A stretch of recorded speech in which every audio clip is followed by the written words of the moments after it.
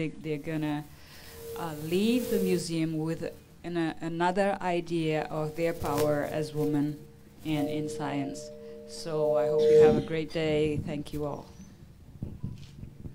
Jeremy. Good morning. Um, it is a great pleasure for IANAS, which is a network of academies of science throughout the Americas, to be involved in this. Women in Science has been a major program of IANAS since its foundation over um, 10, 10 years ago, and it is extremely important.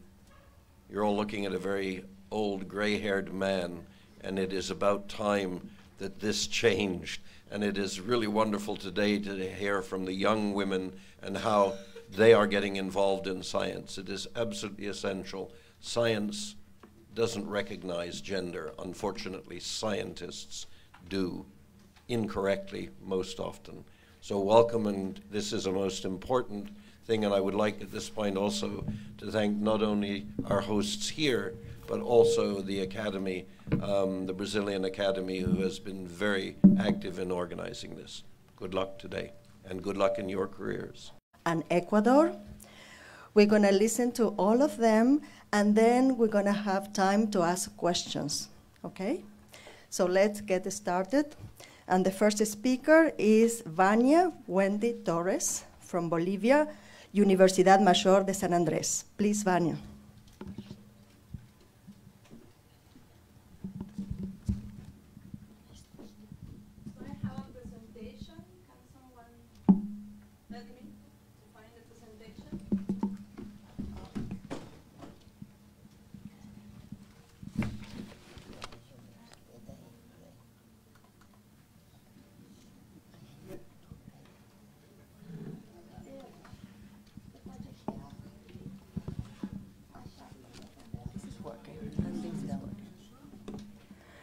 Okay, hello, good morning, everybody. So, as they said, I'm from Bolivia, and I'm very thankful to everybody, and especially to, to, us, IANAS, and everybody that make and made this possible, yeah, and that invited us. So, I'm very, very excited about this to present what is going on in Bolivia. So once we got the invitation with Monica, we got excited and we said, oh, what are we going to do? Because we have information, but uh, we don't have the, let's say, the actual information. So we said, okay, we are researchers, so what should we do? And we decided to do a survey. So we designed a survey composed by 10 questions we got emails from a lot of ladies, like 200, and we sent the survey through email to all of them. We got answers from them from 7 to 2, one, the ones that answered, and I'm going to present you the data from them, yes? So as a, an introduction, I would like to say that worldwide, only 30% of the researchers are women. Yes, and this is also something that happens in Bolivia. The next one, as a background, I would like to say that equity of opportunities is fundamental for us as a right. And then in Bolivia, I should say that we are still in this patriarchal system. so let me show you my sample. So as I said, we had the answers of 72 ladies I am a biologist, so you can see the bias over here.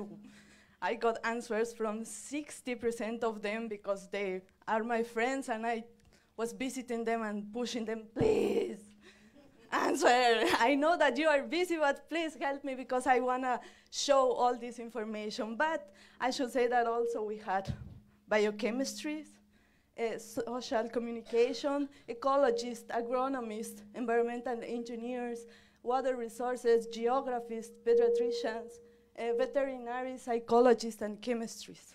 Yes? So uh, then we got the questions. So one of the questions was, when did they decided to study a scientific career? So we got different answers. most of them said that they decided during school, right? And also they said that they always wanted to do science. So what we see here is that we have a filter, yeah? We identified that school can be a filter for these ladies and also home, right? What is going on in their families. The next one was if their family or their partners were supporting them during this decision, right? And most of them said yes. That is great, right? And that is why they were scientifics, right? But some of them said no.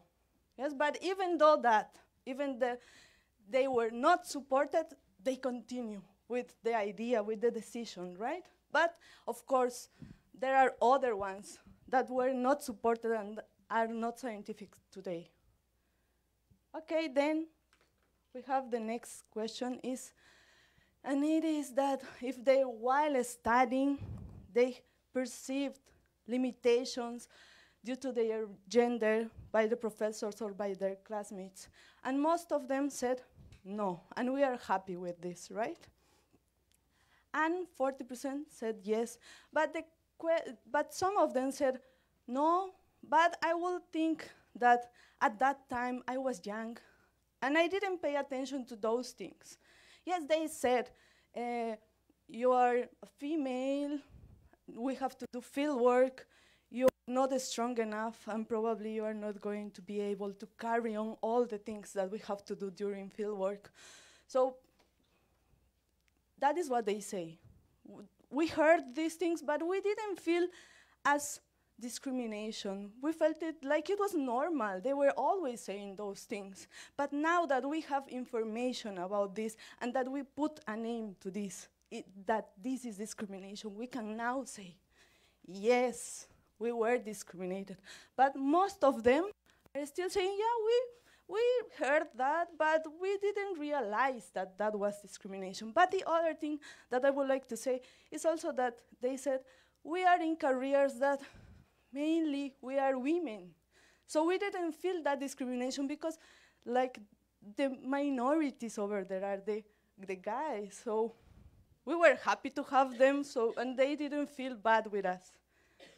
So the next the next question was if they when they were looking for work or fundings, they felt any discrimination or barriers or gender inequity. And they said yes not most of them, but they said yes. And they said, some of them said uh, yes, because they were asking us during the interviews if we were going to get pregnant soon, if we felt able to carry things, to do field work, if we were going to have families, if we had a partner, or what was going on in our lives, right?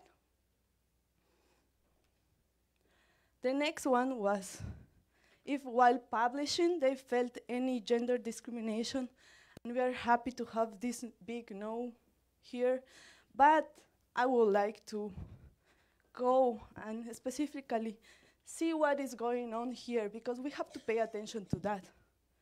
And they said, we have some quotes here, and they said, my tutor told me that I should that he should be the first author because even though I wrote it, he was the experienced one, right? And the other said, uh, my ideas were not considered, but the ideas of my male partners were considered.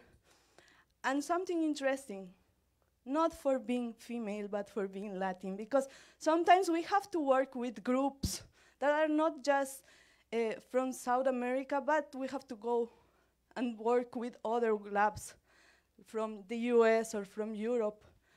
And I will, I'll, I'll think that we have to also focus on this. What happens to us as Latins? And the other one, as I said before, it's probably close to this one. The first author has to be the professor, right?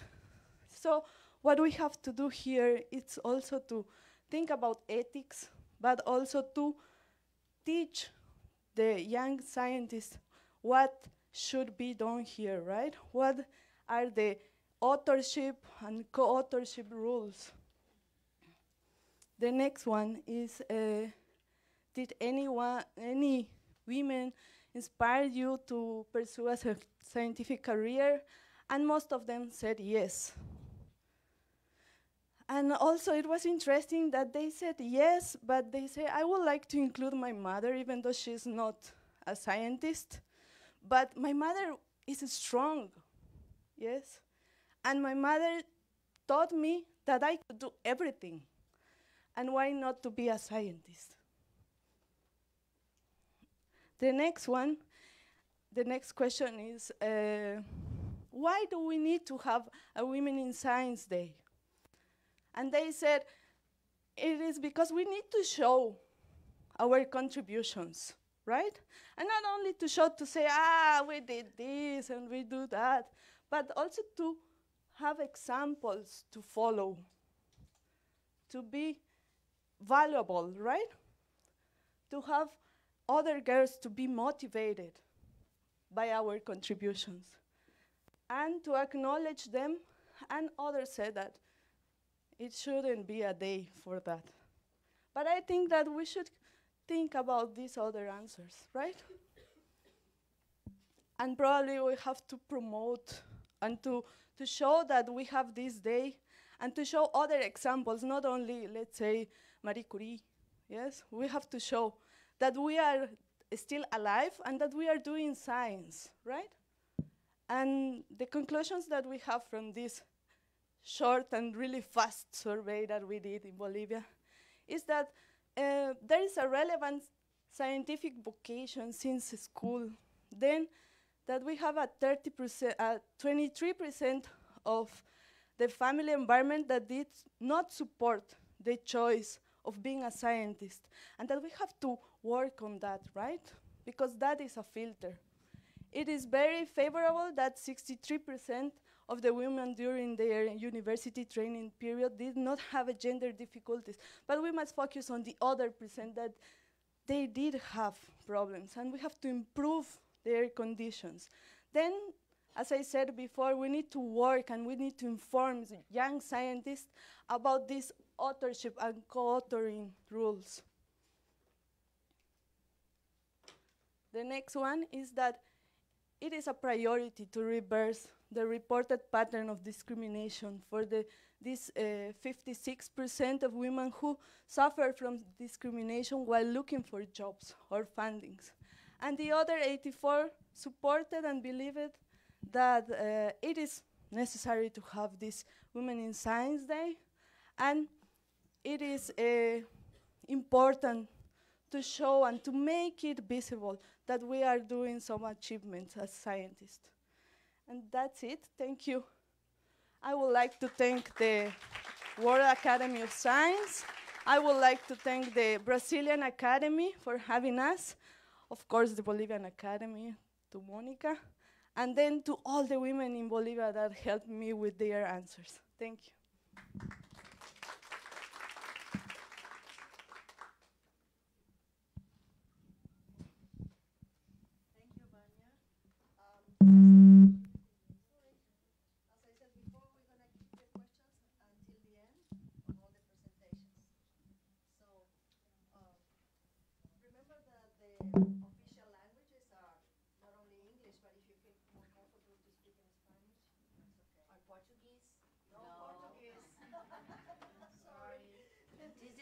discrimination because I'm the only one.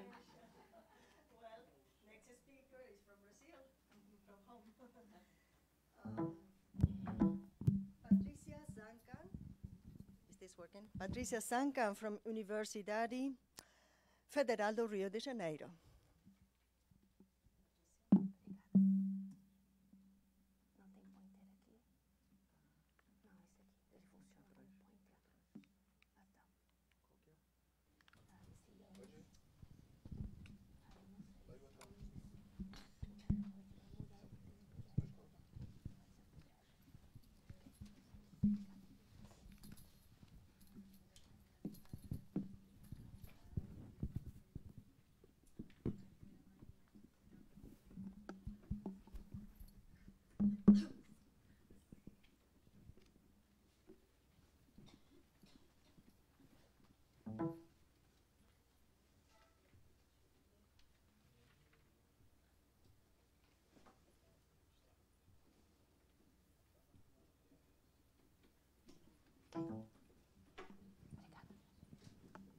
So good morning. Thank you, everybody. I would like to start thanking uh, Academy, Brazilian Academy of Science and IANAS for this invitation.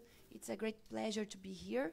And mainly, I would like to thank TWAS LACREP that's given me a lot of support. So I'm here because of them, and I would like to thank.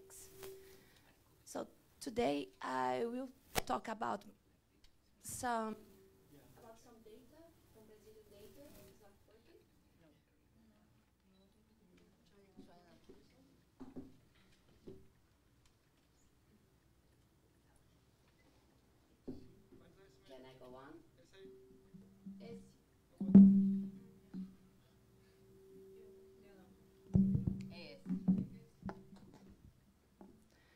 I will show you some data about Brazilian reality in, in terms of gender balance, but I will also talk about me and my experience, okay? So I will start introducing me. Unfortunately, I cannot say anymore that I'm a young scientist since now I, I'm 42 years old, and technically, for scientific reasons, when we reach 40 years, we pass to a different level. So, uh, all my my history it was done in uh, UFRJ. I am a pharmacist, and I did my my master and my PhD in biological chemistry, all of them in UFRJ. During my PhD, I was a substitute professor in the pharmacy school, and then I ran a contest, public contest, and I was hired as associate professor in 2007. For multiple reasons, I was very lucky in this year uh, because we have um, a new arrangement in our department, and then we got a, a space to build the lab. And at the same time, I got a lot of grants, so I was able to buy for the rebuilding of my own lab. So, 10 years ago, I opened my lab and I became a head of my own lab. Since then, uh, or since, since my, my graduation, uh, where I, I did my scientific initiation, there is the, what, what we call in, in, here in, in Brazil the studies or the lab work that we do during uh, the period of our uh, bachelor. I was able to publish 41 papers. I supervised two postdocs, five PhD theses, 10 masters, and more than 12 undergraduate students. In 2016, I was nominated to as Young Affiliate, and at the same time, or at the same year, I was elected as co-chair of TYAN. Pay attention in this logo that was made by Pedro, uh, because you'll see this a lot, I, I, I think. And TYAN is a new network that is connecting to us young affiliates and trying to put, in the, put them together uh, and create collaborations. Okay. So, this is my group, and this is my husband, my main collaborator, and I'll talk about him later. And from all the things that I, I, I got during my life, this is my this is the perfect thing that I did. So this is my boy, Luigi. He is a seven years old uh, boy, and this year I got a second son that is Crânio, or the brain, our uh, rabbit. So now I will, I will really start to talk about what, what I came from or what I have to do. So I will show you some data about the Brazilian scenario in terms of gender equality. I know that you saw a lot of things yesterday, so I'll pass really, really fast through this. In 2007, uh, Elsevier uh, launched this study. They published this study about the gender uh, uh, balance in the, the research field. Well, this was a surprise for everybody and was um, published in different uh, newspapers because one thing um, take the attention of everybody. That Brazil was uh, shown as the leader, the global leader for gender equality in science. And according to Elsevier, we have some things to celebrate. The first thing that is that globally, we have 40% of women that are authors of the papers that are being published. But in Brazilian case, this number, it will reach 49%, which means that we are in almost a gender parity. And in terms of, uh, based on this Elsevier study, we could share this first um, position in the, the rank with Portugal.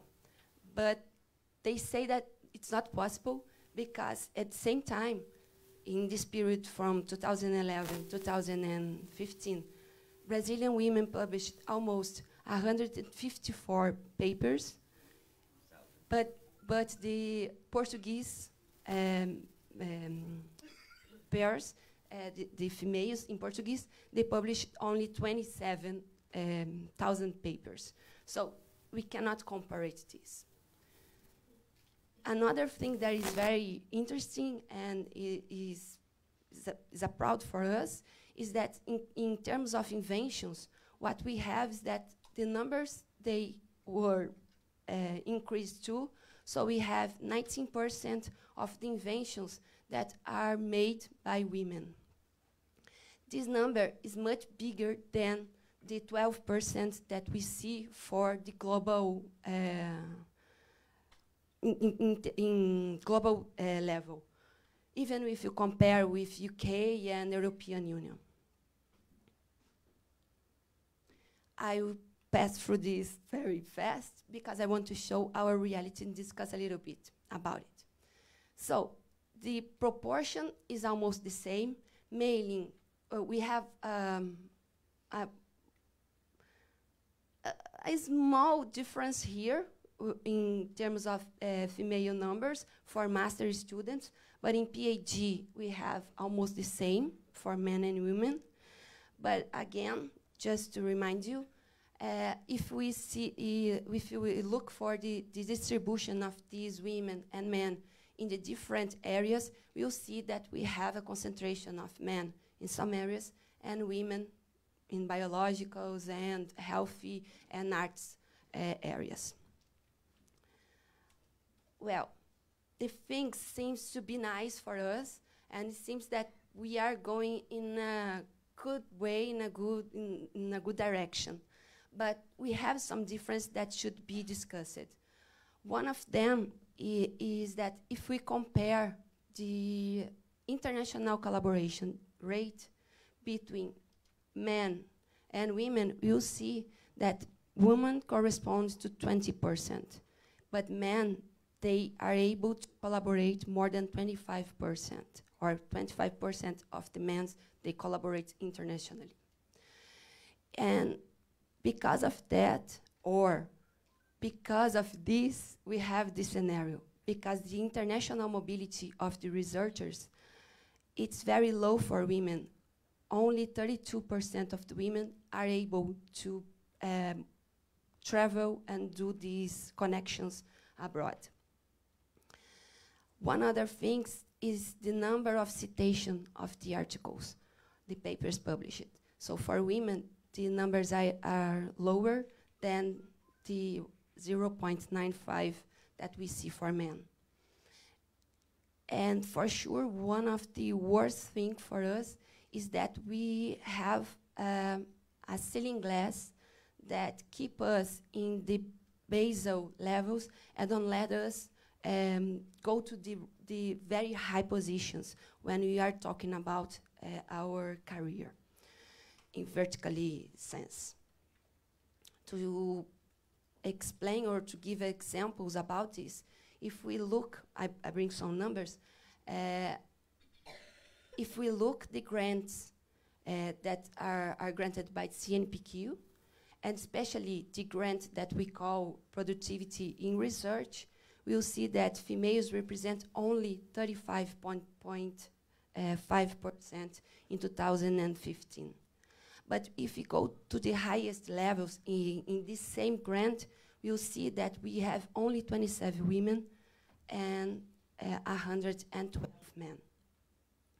In BAS, for example, Brazilian Academy of Science, there are no women as president until now. And between the members, we have only 50% of women. And yesterday, during our dinner, uh, Professor Davidovich said, okay, but between the young affiliates, you are 50, uh, 25%. Say, Woohoo, it's good, but we know that we have to, to do more, okay? And this is extremely dramatic because we are passing through a very, very difficult period, uh, economical and politically speaking. And because of this, we are having very, very huge uh, cuts in our investments. And these cuts, they are much bigger when we are talking about uh, how much is invested in the research researchers no, research conducted by women. So Eh, the numbers are that we are receiving one fourth of the the, no, the the amount that men are receiving. And quickly yesterday, I I look my my data, and I was able to to to do the math how much I got in grants from 2008 until 2015, and it was something uh, about 120,000 uh, dollars. Today, my budget is zero. I don't have no money to continue my work. Luckily, people like me and the sellers, they are giving me the material to continue my research, and I have to pay them one day, but I can continue doing my, my, my research just because I'm having help of the, the sellers. One more thing one more dramatic thing is that one of the main grants that we have here in Rio de Janeiro is the fellow that we call uh, scientist of our uh, state. I used to be a young scientist from our state, but now I have more than 40 years old. Last year, I have to ask for this, this new level, and my application was denied.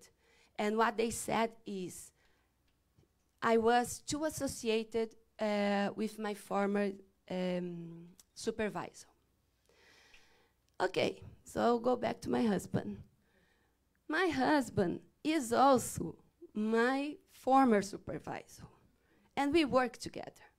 And he is my, my main collaborator. We do everything together. We conduct different labs, but we are always working together. So it's difficult to separate this.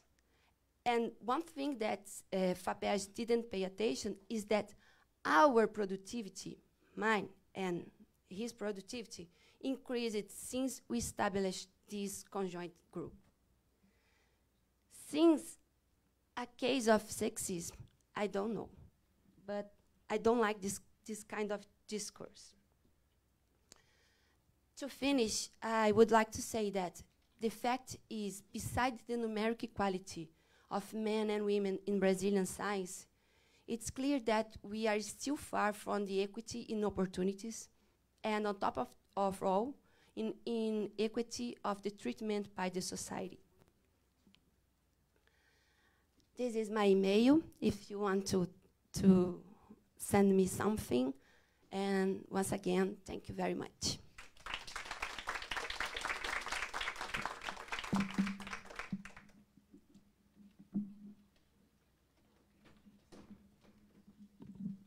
Thank you very much, Patricia.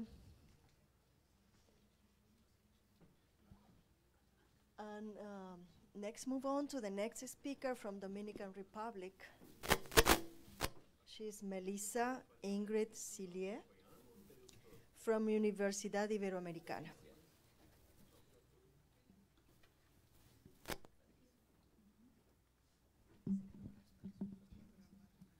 Okay. Okay. Good morning. Buenos días. I will do my presentation in, in English because it was the uh, it was requested to do in English or maybe Spanglish, so you all understand. I'm Melissa Silié. I'm from Dominican Republic. I'm a lawyer. I work also in Universidad Iberoamericana. My investigations and as professor, I work in a particular area of law that is called antitrust and administrative law. And since we as lawyers tend to talk a lot, I will put my clock so I will give my colleagues some opportunities. We were asked to talk about our personal life and personal experience. And since debating these two days and talking about with my young colleagues, I think that we got about a main conclusion. They asked us for to talk about an experience about discrimination, maybe gender bias, and some of us didn't have a particular experience to talk about. But then when we think about it, we thought and identify certain circumstances that for cultural or educational reasons we seem as normal and they were not normal. So my first thing is to thank IANAS, the Brazilian Academy of Science and the Dominican Academy of Science for this opportunity because it allows us not only to think and to debate or participate, but to change our thinking about some topic, topics that we usually, day by day, we see it normal in our country or in our region, in some other countries of the region, because we think that it happens every day, so it should stay this day. And we as young leaders, we will be allowed to go back to our country and then start a new debate and start a new way of thinking. First of all, I would like to make a statement or maybe clarify that I know that we, as a co country from the same region, we have similar problems and similar difficulties in our uh, work or uh, investigation that we do. But I would like to point out that Dominican Republic, as a small country, sometimes we as young uh, investigators, we have uh, these uh, main problems because and one, the first one is because we have to need to share our academic or scientist uh, investigations with other kind of professions. Or maybe we have to share, if we like an area, a specific area of science, we have to share it to give class in other types of science or other types of careers, or maybe go to a general career and talk about our main specialization. And this uh, not allows uh, young scientists to focus or to investigate in a particular area due because it's not an incentive from the university or from the society in general to become a, a, a whole-time uh, academy and we have to share it with other types of works, informal works, or maybe other types of formal works in order to do what we actually love, that is to do research and teach. There's also lack of finance support and to not only do the search on, on to publicate. So one of the main problems in this in our country is brain drain. So there are certain uh, uh, peer-reviewed journals that you can publish in our country, but they are not recognized in, in the region or maybe in the world.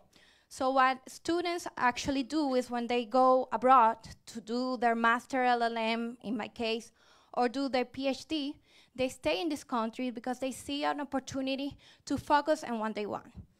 Now, to my personal experience, and the main challenge that I have is, uh, I will talk in my particular case, is that my profession is a, a profession mainly dominated by men. I know that certain uh, scientists here, uh, the, the, the proportion is similar, but in my uh, case, what is happening is that law women lawyers are becoming, uh, are increasing the number every day, every year. But there are certain areas of law that they seem that women, for example, litigation or other areas, or that are uh, only mainly by, by men. There's a lack of incentive to do local publications, and there is like this uh, difference that we have been talking in the last uh, yesterday. We talked about the, the these are here studying with my colleagues, and the women that increase and still participate in the publishing and do more research, do other type of study. In my in my undergraduate uh, class, we were mainly women, maybe 10, 15 percent were men. But then when I continue with my career, the women start to disappear. Maybe some of the factors we uh, debated to the, uh, yesterday, maternity, other reasons, but it's a problem that is present. And the main uh, problem that I, I, I have been experienced is what is called mansplaining.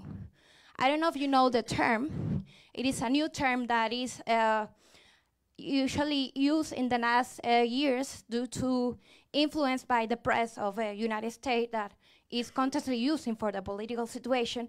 But mansplaining happens when you, as a woman, are trying to explain a concept, explain your position, and then goes a man and say, oh, well, it's like he tell you to shut up without telling to shut up because his, his position is the one that it is right, that is the one that should be heard, and is the one that has some scientific or doctrine background.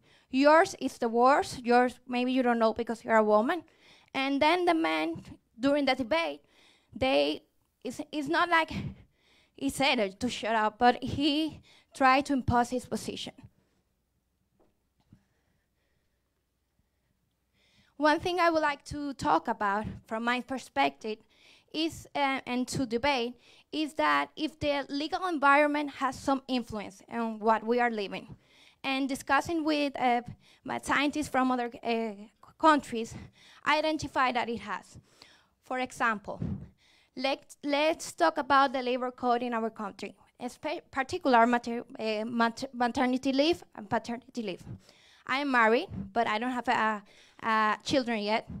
But when we compare what the labor code in our country says about maternity leave, you see that we as a woman has achieved a good time of, of amount to be to of maternity leave. It, uh, it has increased from three months to four months. But then, when you see paternity leave, uh, men only have one day. One day to be out of their office to take care of a child, a newborn child. When you see uh, the labor code about uh, time after marry, men have five days to honeymoon. So they have more time to go away for honeymoon than to take care of their boy. Uh, currently, our country is in the debate about a modification of the labor code, but this is not a topic that is even in consideration. And I think that it only affects me it affects everyone because yesterday we debated a lot about how our personal life has influenced our professional life. And that's how I think the legal environment of each of our countries have a special influence. I also find other types of discriminatory rules. I, I won't talk about it a lot because I found a lot, but I think that in each of our country, and it's a thing that we should uh, think about it.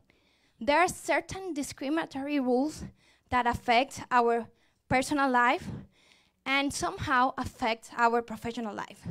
Our constitution says that women and men are equal. But then when you go to the particular law, it's not, uh, it has not adequate to the constitution. So these undiscriminatory dispositions. And finally, and something that we talk about in the first state is about quotas as a way to solve certain problems. Quotas rules uh, works, and I think they're present in your country, is to uh, to keep certain per, uh, percentage of spaces for women in political place. I think that quotas are good, but they have failed in certain way in their application. For example, in our country, there is a, um, a law that express quota for women in political charges of political places, and 33% should be for women in the Dominican Republic. But what is happening in the practice, and I was talking to my friends yesterday, is that a man that is a political put his wife in the position to achieve the quota, and then in the day day, he's actually the political that is taking the decision, taking the money, and doing everything. The woman is just a fake political in the place to fill the quota. I think it's a long path, but we are walking towards the right direction. I am in favor of special recognition. Uh, we debated yesterday about if women should have special prizes uh, in their professions. I'm in favor of that. I'm in favor that we have in this one we have in law they're called chambers, but I don't think that it should be perpetual. Right now there is a big gap, and we should acknowledge the work of women that they do an extra work to be at the number one in their profession. But in certain points, we will have to question if it is acceptable to have this different type of recognition from the woman. Because what we want to do is to achieve an equal uh, statement of both of us. And this type of recognition, I think it is good right now, but in certain time we have to question about it. I in favor of actually promote the role of a woman. I think this type of events, as I explained in the introduction, is a part of it. And I think we should put short-term goals. Awareness about our profession and we as a female has been debated in the last decade in my country. But I think we are lack of short-term goals of what we want in our profession and to recognize our rights as a scientist, woman scientist. Thank you very much.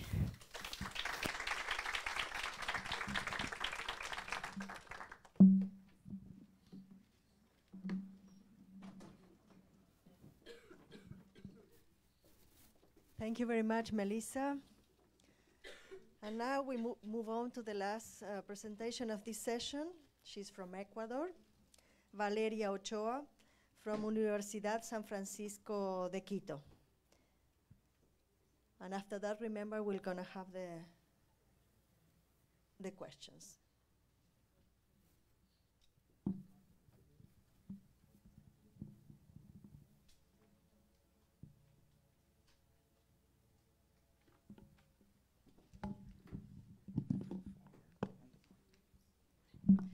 So thank you. Good morning. Buenos días. Um, since my colleague spoke English, I'm continuing English as well.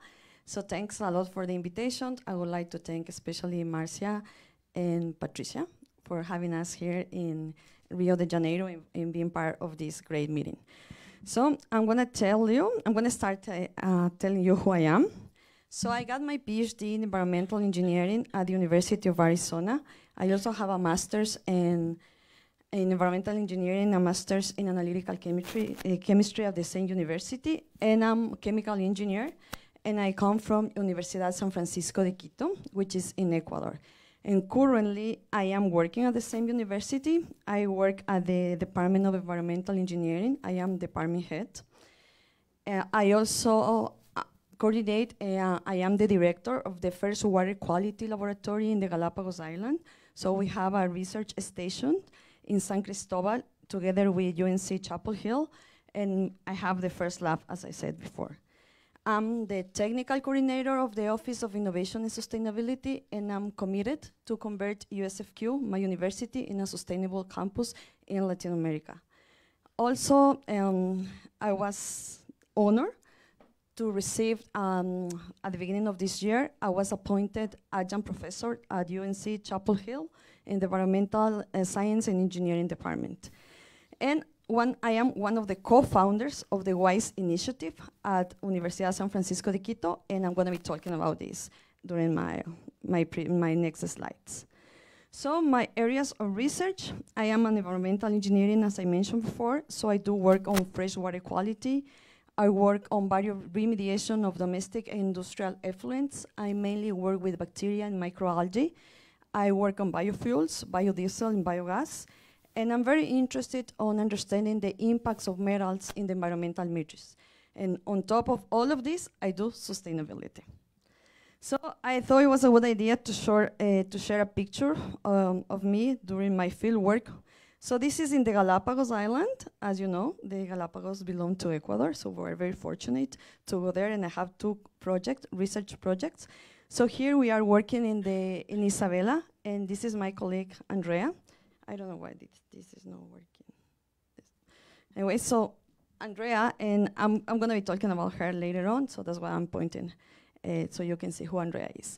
So what we're doing here is we're trying to um, establish or, and we're analyzing of the aquatic systems because in the Galapagos there is um, there is not a lot of fresh water. There's just a little bit in one island. So we're analyzing and determining how the situation of fresh water is in the Galapagos Islands.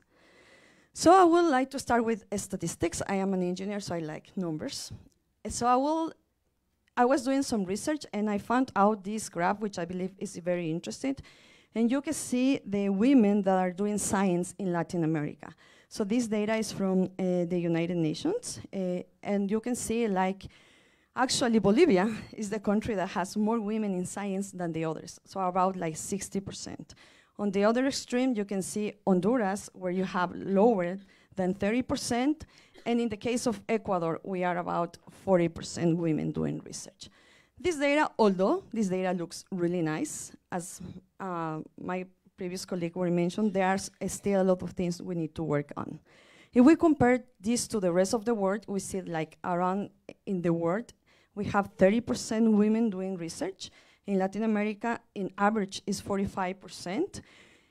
Higher to what's happening in North America and Western Europe. And for instance, in places like Germany and France, you have 30% women doing research. Again, this looks nice, we, but we still have a lot of things to do. So I'm going to talk about USFQ. This is a liberal arts school where all areas of knowledge are equally important. And I'm going to present some data. So in our case, we have 30% of women in the academia. And this is very important to say that this is mainly the case in Ecuador.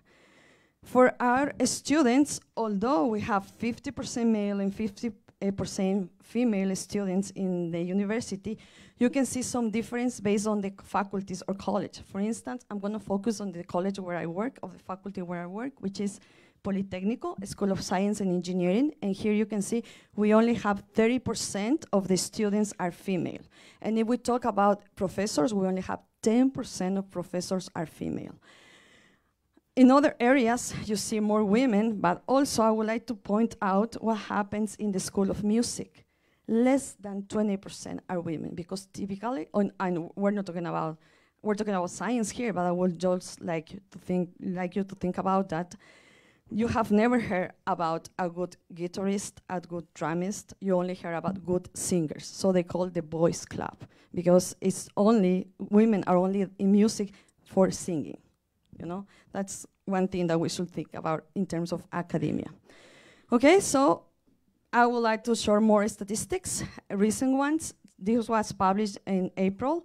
So women are less successful when applying for patents. For instance, in the US, between 2001 and 2014, they received like 2.7 million patents and less, 21% um, less likely to be accepted for women, and that dropped to 7% when you take into consideration technology. So one thing we could be doing, maybe be blind the pro application process so it's more fair. I don't know, that's a question. Women are underrepresented at conferences. For instance, you know the famous AGU, American Geophysical Union meeting. So uh, this study was published in April as well of this year. You see that from 22,000 applications, only 30% of them are for female talks, and only 7% are invited speakers, uh, female invited speakers. So what things could, can we do about it? Can we do something about it? We could encourage more women to apply, and or we could have gender equity in the selection committee. That might help as well. I don't know. So this is a topic that we're all talking about. So Nature just uh, started with two awards, Inspiring Science Award and Innovation Science Award for Women in collaboration with Estee Lauder. The awards haven't uh, been awarded yet. They will be awarded by the end of the year. So what can we do? So I'm going to tell you what we're doing in two specific topics, which is we need to increase the numbers and we need to have better conditions for women. So I'm going to talk about the initiative we created at USFQ that was created in 2015. So our objective is to promote and increase women representation in STEM in, in STEM in Ecuador. So these are we here, here we here we have the, the the ones that created this initiative, and I would like to share a small video with you so you know what this initiative is about.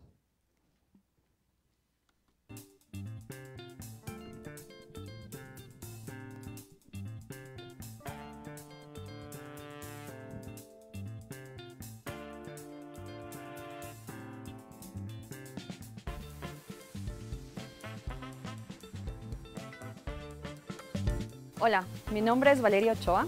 Yo soy la coordinadora de Ingeniería Ambiental y cofundadora de WISE. WISE, Mujeres en Ciencias e Ingeniería, es una iniciativa de la Universidad San Francisco de Quito que creamos hace tres años con el objetivo de promover la presencia de la mujer ecuatoriana en carreras de ciencias e ingeniería. Dentro de la iniciativa WISE USFQ hacemos foros, hacemos conversatorios, invitamos a destacadas científicas, tanto a nivel nacional e internacional, a que vengan, a que compartan con nosotros la ciencia que ellas están realizando, todas sus contribuciones al mundo científico y que nos cuenten lo que ha sido su vida en este campo de ciencias e ingeniería. Les invitamos a participar, les invitamos a que vengan, que atiendan a nuestros foros para que sepan lo que nosotros estamos trabajando y de esta manera juntos promovamos la presencia de más mujeres en estos campos. Soy María del Carmen Cazorla, soy PhD en Meteorología y dirijo la Estación de Mediciones Atmosféricas de la Universidad San Francisco de Quito. La beca WISE significa Women in Science and Engineering y es una beca promovida por nuestra iniciativa de Mujeres en Ciencia e Ingeniería de la Universidad. Este es un esfuerzo significativo de la Universidad San Francisco de Quito por promover la presencia en mayor número de jóvenes mujeres en carreras de ciencia, ingeniería y tecnológicas. Queremos invitarte a que participes, a que concurses y si tienes condiciones académicas excepcionales, este es el lugar para ti.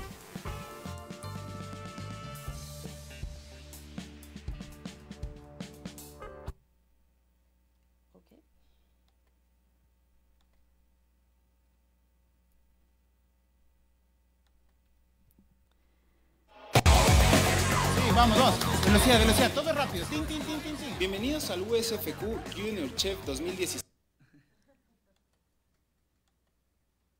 I'm sorry about that. Okay, so as you heard, we have a WISE scholarship. So this is 100% tuition coverage at USFQ. USFQ is a private university, and we are very happy because we awarded the first WISE scholarship on May of this year. So as we speak, we have the first WISE a person that got this scholarship and she's going to study physics and her name is Valeria, the same as mine. So since we've been talking about this initiative, some people, some colleagues came to us and asked, we really like your WISE initiative and would like to be part of it, but we are lawyers, we are economists, we are artists. So we thought it was a good moment to create and we have this forum, which was for opportunities and challenges for women in the academia. And also, in February of 2017, it was formed the first WISE initiative in the country, which is Red Ecuatoriana de Mujeres Científicas in Ecuador. And they are very active. For instance, this June, they have a, the first international conference about the impact of women in science. And there is also two chapters, and one of them is at the University of Cuenca in the southern part of Ecuador.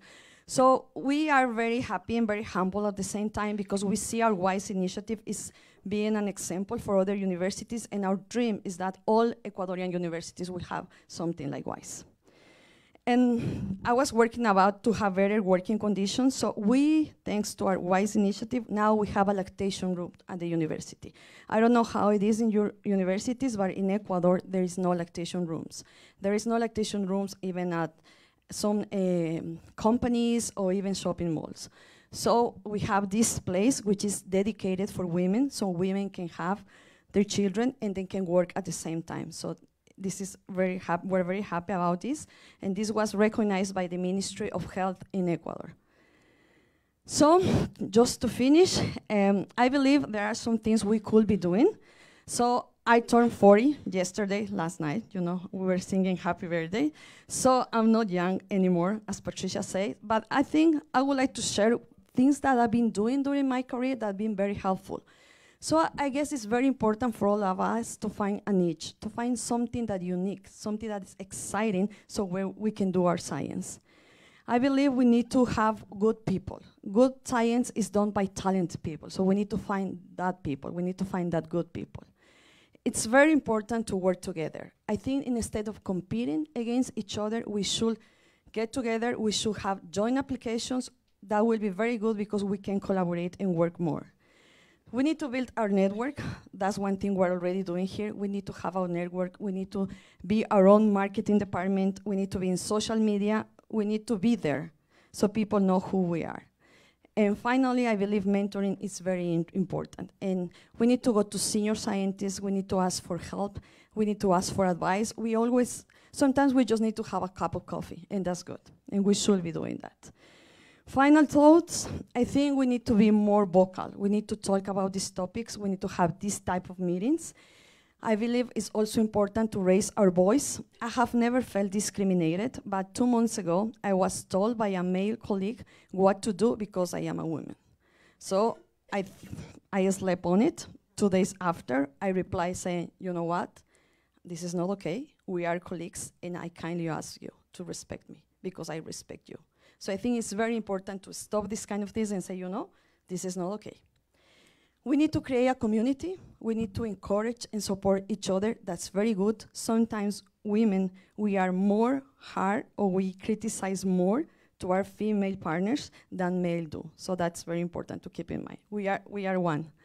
So we need more women in top positions. I'm definitely convinced that that's one thing to go and one thing we should be uh, looking for we need to incorporate our male peers. I think this is strategic because we need to talk to them. We need to, to talk to them, to have them in the same table and tell them, you know what, this is not okay. So we need to start, and we need to collaborate and do more things together. And I believe role models are really, really important in our lives. And I would like to talk about my first role model, which is my former supervisor, my PhD advisor. She says that she's not my supervisor anymore, but I will always call her my advisor. Her name is Reyes at the University of Arizona. And Laurence Maurice. Laurence is a French uh, scientist. She's in Ecuador, and we've been working together for three years, and she's a really a nice lady. And my best friend, my colleague, my collaborator, Andrea, the one that I show in the picture that we work together in the Galapagos. So to have this type of woman in my life, it has made such a significant change and a difference. And I encourage all of you to have and find role models. And I would like to finish my talk with this African proverb, which, which says, if you want to go fast, go alone. But if you want to go far, go together. And I think that's one thing we should be doing. We should get together, we, we need to work together, work together, we need to talk more between us. And thank you very much.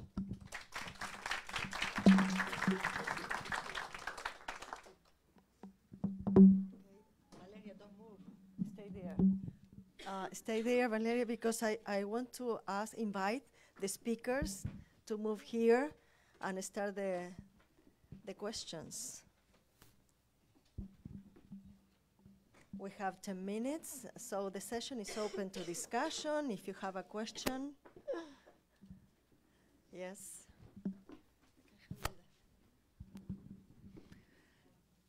Muchas gracias por las presentaciones, estuvieron muy interesantes. Eh, pienso que hay muchos temas comunes entre nosotras.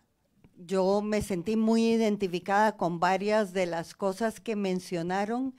Eh, por ejemplo, lo de, no, no aceptar que el trabajo mío sea ahora mío y pensar que sigue siendo del supervisor. Entonces yo llegaba a la vicerrectoría de investigación y me decían, ah, no, ese es el proyecto de Pedro, ¿verdad? Y entonces siempre queda ese sesgo de que no es un proyecto propio.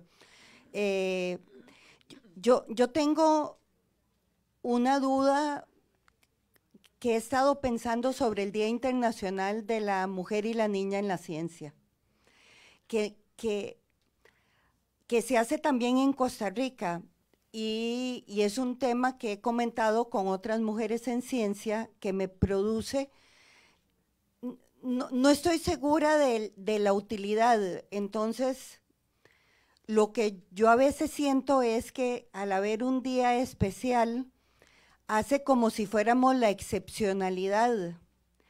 Y en la Academia de Ciencias de Costa Rica, lo que yo he insistido es que en las conferencias que se dan, que antes eran 12 conferencias durante los 12 meses del año dadas por hombres, porque la excusa era que no habían mujeres que dijeran que sí, pero eso no es cierto porque yo llevé una lista de 18 mujeres que me aceptaron para el año entrante. Entonces, este año, el 2018, fueron siete mujeres y cinco hombres en las conferencias del mes. Lo otro que hicimos en Costa Rica es un grupo parecido a WISE, que hay una base de datos y yo la repartí a todos los periodistas. Y entonces cuando hay una noticia que debe ser comentada por periodismo científico, la que da la opinión, eh, así con, con ayuda de periodistas mujeres que creen en lo mismo, la que da la opinión experta es una científica mujer. Y entonces es esa, esa esa incomodidad mía con el Día de la Mujer, ¿verdad? Como si fuéramos excepcionales y más bien tratar de movernos a que somos de todos los días, a que damos conferencias todos los días, a que estamos en los medios todos los días en lugar del Día de la Mujer y la Niña en la Ciencia. No sé qué opinan.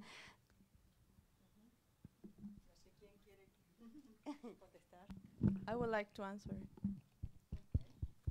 Should I do in English or in Spanish? Okay. So let me do it in Spanish because you already heard me in English.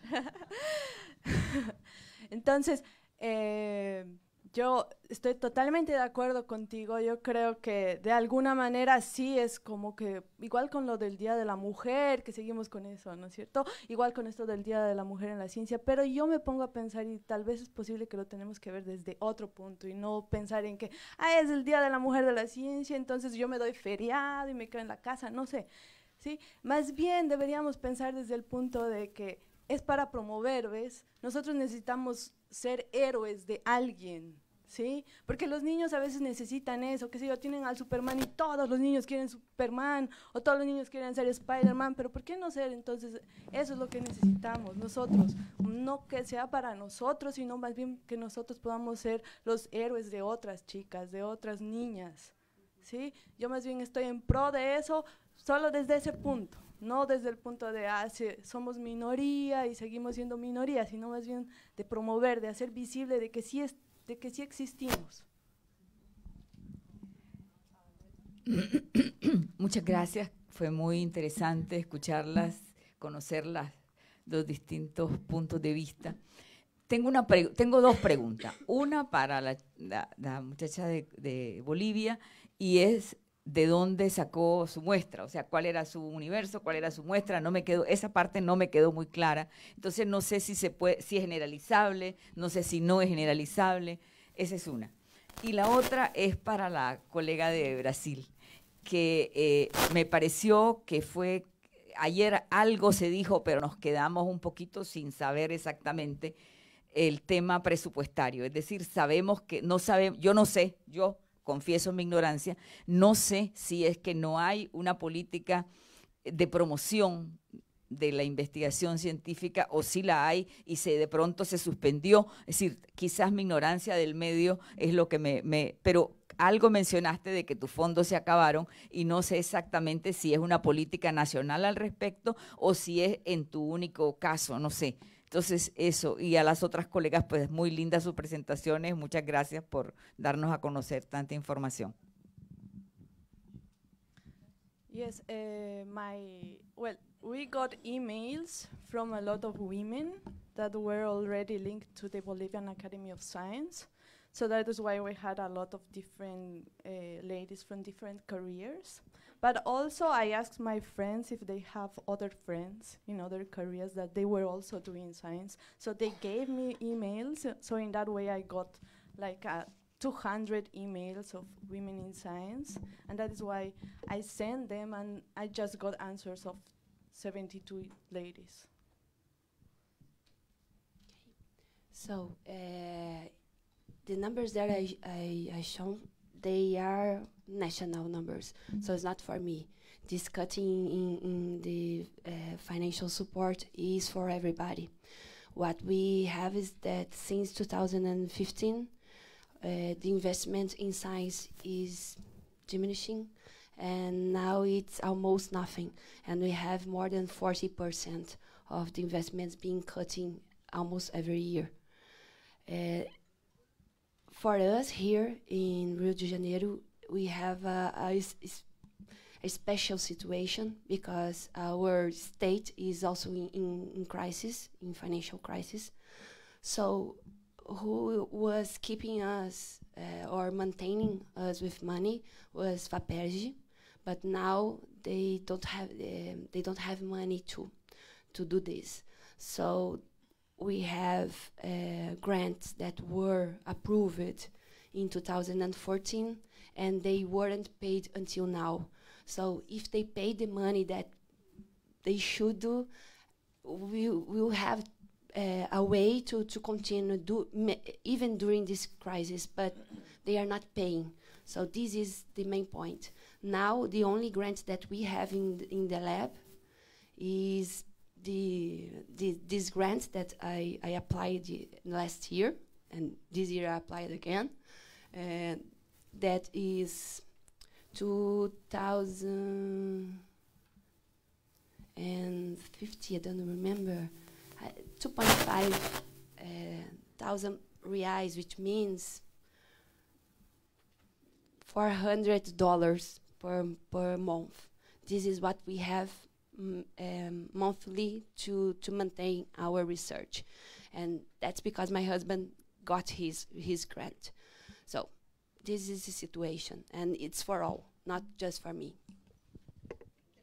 Sí.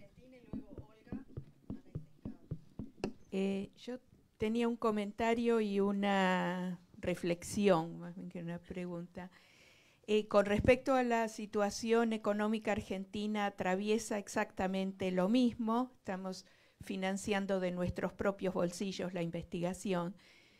Pero yo comentaba hoy que hice, eh, como tengo muchos más años que ustedes, este, atravesé varias crisis económicas y eh, comentaba que la carrera, la producción científica de la mujer comparada con la del hombre, la del hombre es estable y de las mujeres tiene una caída después del nacimiento de cada hijo o cuando hay un problema de cuidado de los padres. Sin embargo, en los años de crisis económicas, todas caen igualmente y eh, se hace mucho más daño a la producción de la ciencia, estas interrupciones en, el financiamiento de la investigación que el género. Digo, la maternidad nos recuperamos y después tenemos una producción que corta la línea de los hombres y sigue creciendo. Eh, las mujeres somos fuertes y, este, y eh, podemos atender todas las cosas. Las crisis económicas provocadas por los gobiernos y los manejos, eso es, eh, provoca un daño mucho más largo y afecta a todos por igual. El otro comentario que tenía más bien es eh, una pregunta que, me hago y que pongo en la mesa. Los, em, los auspicios, los premios notables para mujeres en ciencia a nivel mundial han sido L'Oreal y ahora Estée Lauder. Me inquieta un poco que seamos objetos de cosmética. Y digo, no tengo una respuesta porque cuando vi eh, la ilustración de tuya, Vania, la primera, que está la mujercita subiendo la escalera, eh, pero dejó los tacos altos abajo. No quiero dejar los tacos altos mientras hago investigación, quiero seguir siendo femenina y científica, pero a la vez me molesta y no sé, digo, lo pongo como reflexión, que los fondos que auspician premios importantes y reconocimientos nos ponen como ejemplo, pero para la cosmética. Y cuando uno camina por las calles de París y ve las hermosas fotos, vi de la colega astrónoma brasileña Thaisa Starchi, que ganó el premio L'Oreal, o la colega argentina bióloga, pero es la propaganda de L'Oreal. Em, no, no estoy poniendo una respuesta, simplemente a ver si para reflexionar y de qué otra manera podríamos conseguir auspicios que no sean de la industria de la cosmética. No, UNESCO, perdón, pero UNESCO fue eh, asociado a L'Oreal para actuar en la selección y decidir qué este, instituciones académicas en cada país, pero el premio es L'Oreal.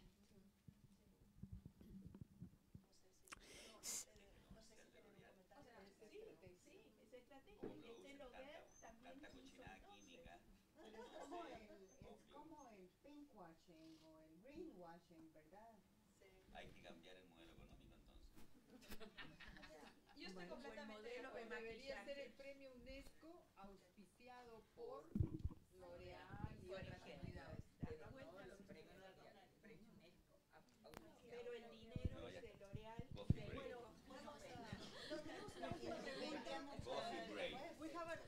Sí. Sí, bueno, sigo en español. And then we go for the coffee break and come back 10 minutes later to hear more, okay? Muy breve, muy breve. Eh, gracias por las excelentes presentaciones y por las vidas de ustedes. Eh, además, lo que nos aportan y lo que aprendemos de ustedes. Eh, a mí me gustaría saber qué vínculos o, o, escuchar algo acerca de los vínculos de ustedes con sus respectivas academias de ciencias. ¿Cómo ustedes eh, tienen posibilidades de interactuar con las academias de ciencias y eh, algunas experiencias que puedan tener, porque me parece que junto con las universidades, las respectivas academias de ciencias, eh, tienen una responsabilidad grande con la formación de las jóvenes generaciones de científicos, con apoyarlas de diferentes formas e incluso buscar fórmulas para que se asocien con algún tipo de membresía a las academias, porque hay que renovar las membresías de las academias, que eh, necesitan de esa sangre joven y de mentalidades incluso que ayudan a un desarrollo mayor de la ciencia. Y me gustaría escuchar algunos comentarios. Gracias.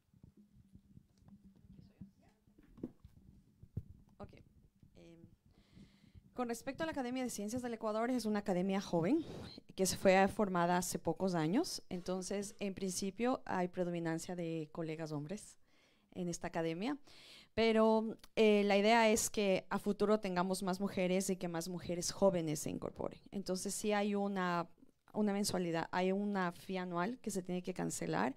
Y eso es lo que actualmente le está deteniendo a mucha gente, ¿no? Porque qué tan valioso es hacer este pago y qué es lo que estamos recibiendo como academia. Pero sin embargo, eh, tengo que decir que en el caso particular de la Academia de Ciencias del Ecuador, eh, teníamos una presidenta mujer hasta hace el año pasado y actualmente tenemos un presidente hombre. Entonces, una de las ideas de la academia es que eh, la directiva es mitad mujer y mitad hombre, entonces vamos a tener presidenta mujer, hombre, mujer, hombre, para que se vayan intercalando y tengamos un poco más presencia femenina y la participación de los jóvenes. En la participación de los jóvenes, eh, hoy por hoy es primordialmente senior scientist. Tenemos pocos eh, científicos jóvenes y eso es algo que la academia quiere trabajar, quiere atraer mentes jóvenes para poder crecer. Y creo que es un buen momento porque es una academia joven, es una academia nueva, entonces está en la oportunidad de, de aprender de los colegas de otros países y ver cómo podemos seguir en esa dirección. Bueno, eh, la Academia de la República Dominicana ya tiene un tiempo considerable. Si uno ve la foto de los miembros fundadores, ve que la mayoría fueron jóvenes, fueron hombres, perdón. Pero uno ve que a través de los años este punto de vista ha cambiado. La participación de la mujer en diferentes comités, en sus publicaciones, en sus actividades, ve que cierta forma tienen un interés en dar apertura, no solamente a los hombres científicos, sino también a las mujeres científicas. Respecto de los jóvenes, ya la dirección de la academia es básicamente, me imagino que la mayoría de la región, de científicos seniors, o sea, personas con ya más experiencia, tienen su carrera profesional, sus publicaciones, ciertos parámetros. Pero esto no da cabida a que los jóvenes no tengamos oportunidad de participar en ciertas, algunas de las actividades que ellos están realizando. O sea, que entiendo que la tendencia es buena, lo que nosotros como jóvenes y mujer joven debemos de garantizar que no sea una tendencia que se mantenga hasta cierto punto, sino que sea una tendencia que como pasa en todo lo que hemos discutido hoy en día, se mantenga en los altos rangos, en los altos comités. We can keep on the discussion and the exchange of ideas during the coffee break. And let's give a big applause to the, all the speakers this morning. We come back 10 Okay? Short coffee break.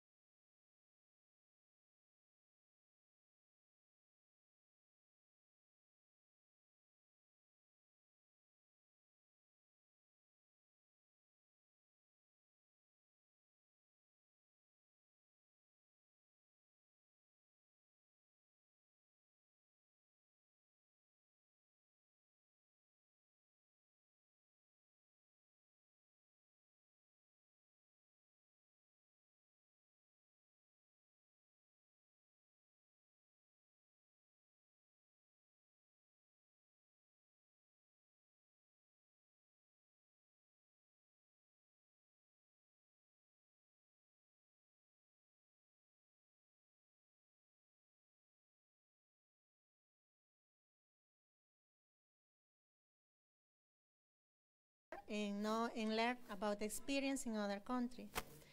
But let me please let my presentation in Spanish.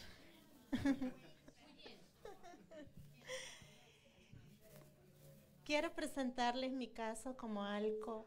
Ok, ok.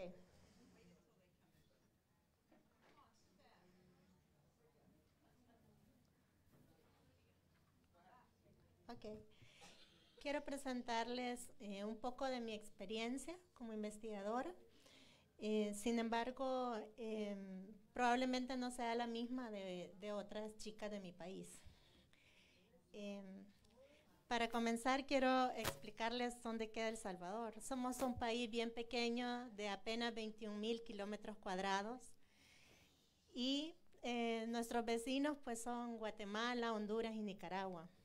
Eh, la población, sí, predominamos las mujeres en un 52%.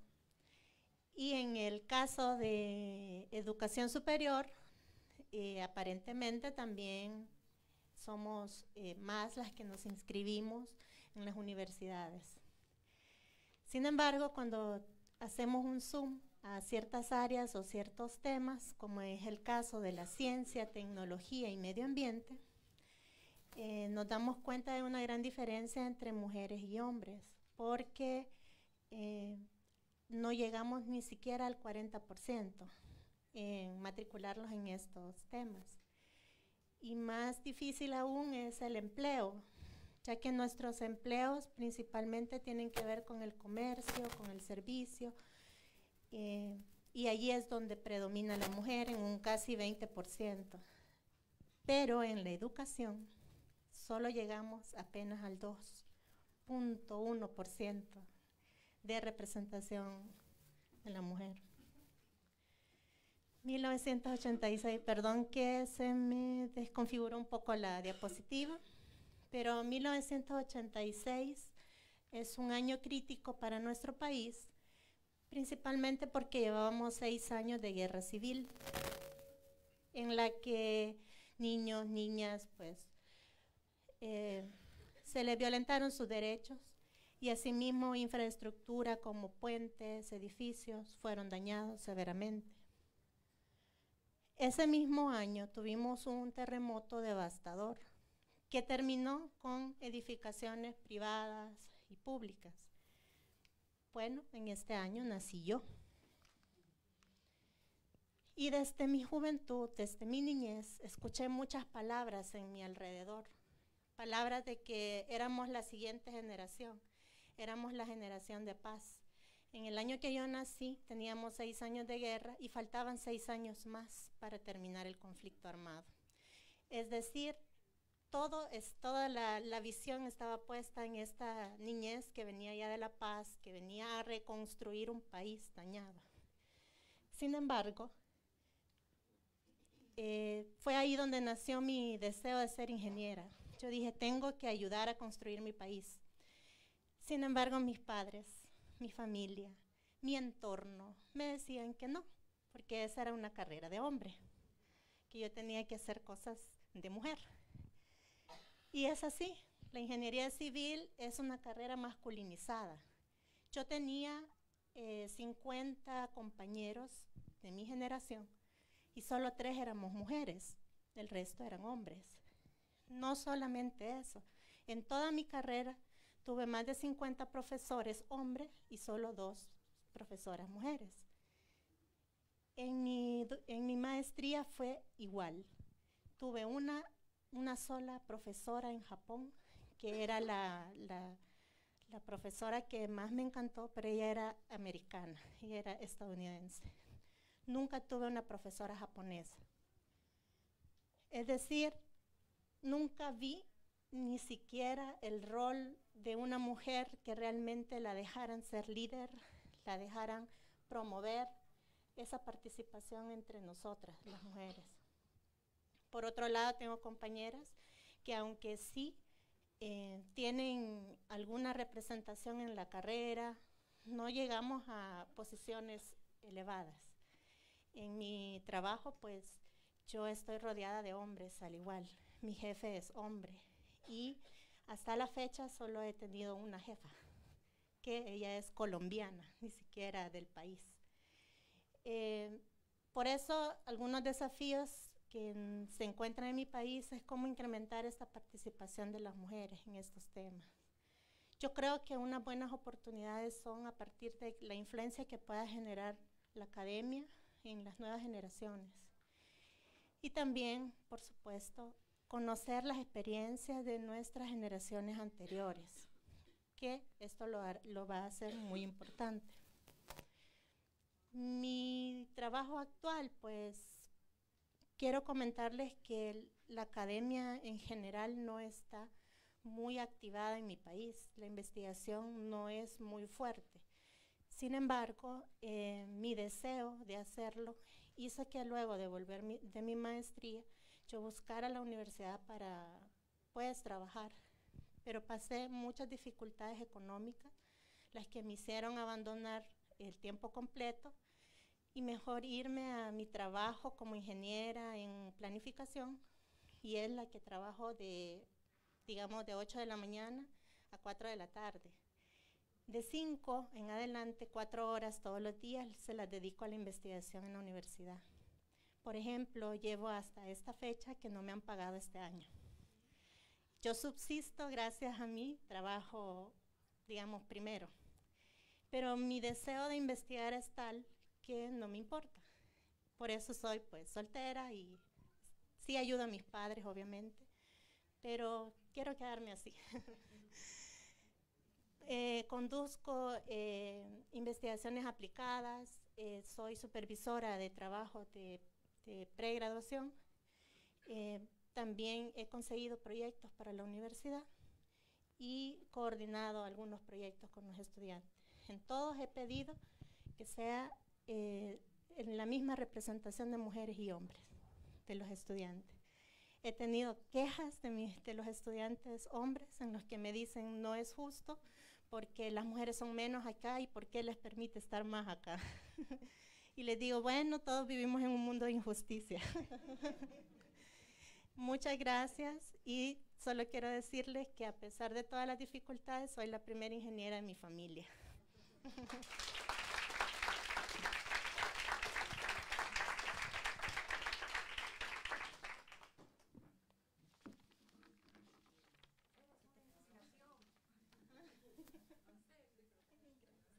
Muchas gracias, Ingrid. Ahora seguimos. We now follow with Marlene Susana Arrechea Alvarado eh, from the Universidad de San Carlos en Guatemala.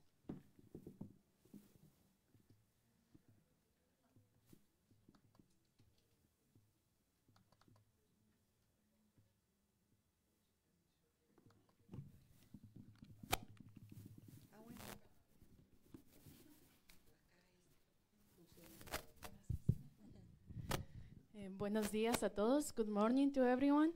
Uh, before starting, I want to ask you what do you prefer, English or Spanish? I am indifferent. Okay. So for respect to those that doesn't speak Spanish, I will speak in English. Um, I am from Guatemala. I am researcher at the University of San Carlos of Guatemala.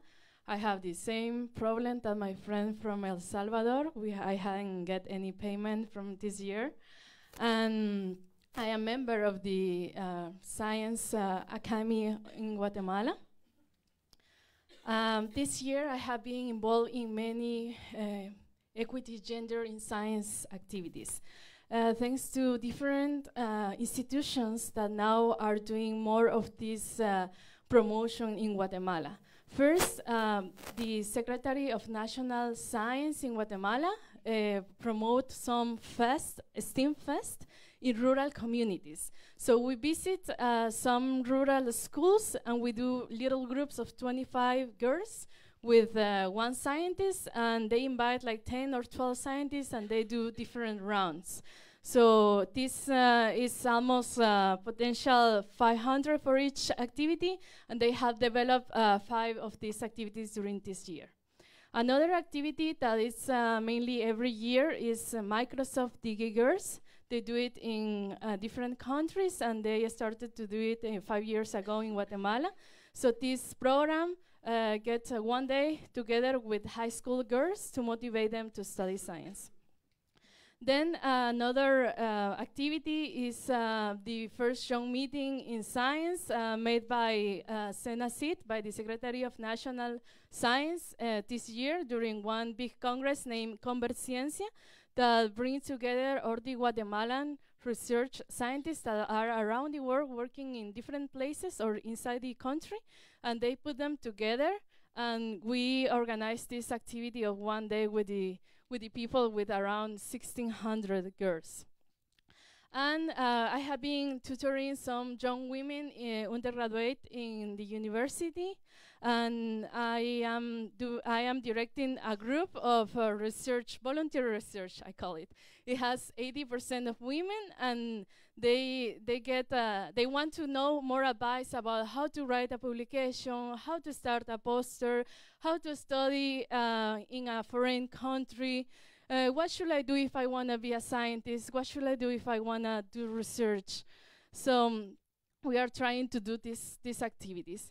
Another um, important thing is the Metropolitan Network of Women in Science that is uh, now conducted by SENACYT, but it was originated by the president of the Academy of Science who was promoting this network. And another of, of pro is that she's a woman, Car Carmen is here, and is uh, is a good representation. So uh, I have been collaborated as woman scientist in USAC uh, with uh, about uh, 3,500 girls uh, in the topic of STEAM in, during this year. So it's one of the activities and it's very, very excited. But these activities bring us more reflection because uh, talking to the girls, I have been discovering so many comments that just inspire me to fight more for this for this. So here, uh, a girl of 13 years old, uh, she dreamed to study mechanic, but her dad told her that career is only for men. And this is this year, it's 2018, and these things are not things of the past. This keep, uh, this is a part of our day, day by day. And then another girl of 12 years old told me, I never had the opportunity of playing with cars, with robots. I always need to play, have to play with uh, plates or, or dolls. That was the rule in my house. My parents didn't let me. And then uh, another case is a woman of 35 years old that is a researcher. She wants to be a mom, but her uh, supervisor of, of the PhD told her, don't get pregnant. It's the worst mistake of a young research. So it's, it's a big challenge. And it happened in 2015. Then another comment is uh, many girls doing the work of their boss, uh, having a better profile, academic profile, than the boss, but being not able of being a boss because only men can be a boss. It is happening in 2018. Um, this is a, a, picture of me when I was young. And I remark here that the support of my family was very important. Uh, they never re restrict me to play with boy toys. It's true. They give me dolls. They give my brother cars or robots, or they. I, we just play indifferently of what was from who. And I grew with uh, six other men cousins, so I never had problems with this. They never told me, no, don't do it. I always was uh, experiment with this. Another important thing was my mom. She inspired me. She had me when she was 19 years old. She was young. She was in her first undergraduate uh, year. Obviously, she took 10 years to finish her undergraduate. She was working and studying at the same time. I saw her uh, transform from a young woman that was very dependent from my dad to a very independent and strong woman, to a woman that take decisions of do what she really wants. And it inspired me. And then I can see my grandmom that she was very lovely, but she has this traditional mind of uh, go and do everything for my granddad, uh, bringing the food to the table, don't letting him uh, wash plates, don't letting him do any anything. And but my mom, with my brother and me, always was the same. We have to just share responsibilities, and it was good for me. And then another educational influence when I was in, in primary school, my teacher uh, just discouraged me because I was another girl bad in math. Just I had to think, and I just started to think that yes, I was bad in math, and there was no way to get better. And this is my mom, and this is my family when my dad uh, was alive. And another, when I grow up, I have in ninth grade a teacher, and she inspired me to love math. She was a good educator, and she challenged us. She said, You can do it, you can learn you have to sacrifice time. And I really enjoy math, and I learned that I wanted to be an engineer, and my parents support me, support my decision. And I study chemical engineer in the University of San Carlos of Guatemala. And then I got a, a scholarship from Fundación Carolina to make my master and PhD in nanotechnology. So when I went to Spain, I found good and bad experience. Um, the first week that I was in the in the university, my advisor told me you will not be able of doing it because you are a chemical engineer and this uh, PhD is for organic synthetic uh, molecules. You don't have any knowledge about uh, organic uh, chemistry and you will not do it. Now he called me like one of his best as a PhD students. But just this encouraged me to do it. But some people can act different and can be just laid down for this comment, so we should change it. Um, then another issue that I saw in Spain with other groups that men taking advantage of their leadership with PhD students. They got closer to them and say hi in the lower back, and they were just running around to try to don't him. So it's these things. why? Why is this happening in 2013?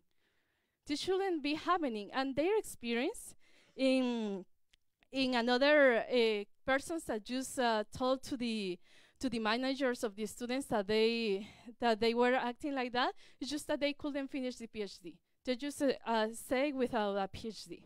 So coming back, so nobody wanted to say anything. Uh, when I come back to Guatemala, I found that there is no too much opportunities in leadership. Uh, I have a Fulbright grant that was equity gender, so it was good.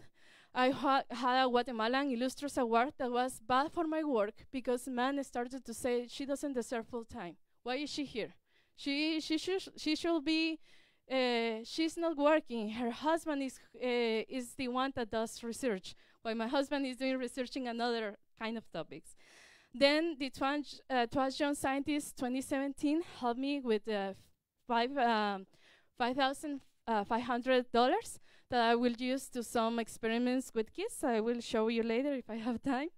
And I wanna um, share another personal uh, experiences with my wonderful husband because we share responsibilities. He likes to cook. I wash the plates. Uh, he likes to do the clothes. I sweep the the floor. So we share responsibilities. He supports me in my career. We don't live every day together because he's doing research in California and I do research in Guatemala, and he respects it. But the society doesn't respect it. They think that it's wrong, but if I'm happy and he's happy, what should be wrong looking at us only one week per month? So um, it's, uh, and then the pressure of, uh, and the kids, and where are you going to have kids? Maybe now I don't want to have kids. Now in 2019 I want to, but before I didn't want to. Why this pressure of these two years and a half married and pushing me to do what the society is expecting? So I have some, uh, this is my last uh, slide. And I just want to mention that one of the things that I, I, my opinion about equity gender and how to promote it, first is change the mind. Change the mind of parents and traditional culture about these gender stereotypes. Then productive communities can, that can help us to less poverty so it can get uh, more uh, flexibility in the girls to do whatever they want and not do what they have to do to get a little bit of money. And then self-esteem and positive roles, a model of a young scientists, promote esteem since young age And scientific association, workshop, and mentoring is important. And obviously, policies and plans that are more difficult to get that maybe it's uh, not today in our hands. Um, thank you so much for, for your time. And I just want to show you a fast uh, five seconds video of my niece doing some research and e- some experiments.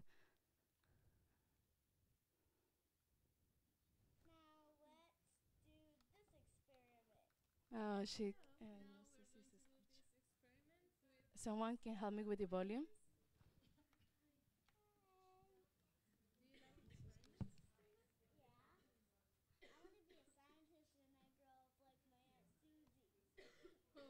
Okay, it, you, we cannot listen, but I want to share you what she said at the beginning.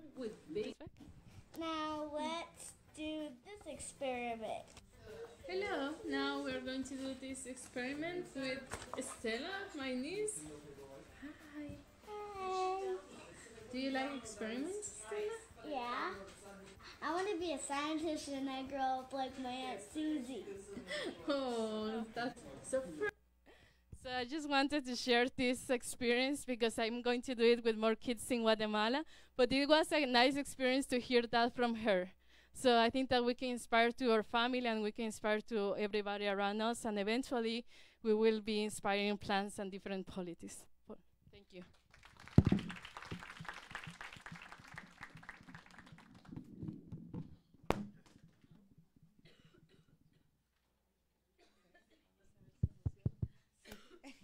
Gracias. Thank you. Eh, so now we're having Miriam Hippolyte. Hippolyte, was that the way I should pronounce it? and she's from the Université d'État de Haiti.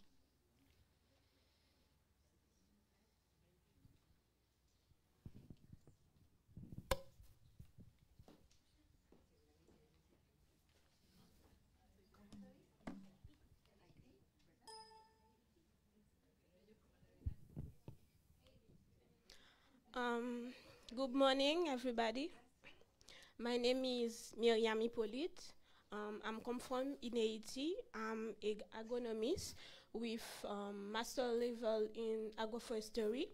Um, I'm a professor at State University Haiti, particular, particularly um, at the Faculty of Agronomy, um, Veterinary, and Medicine.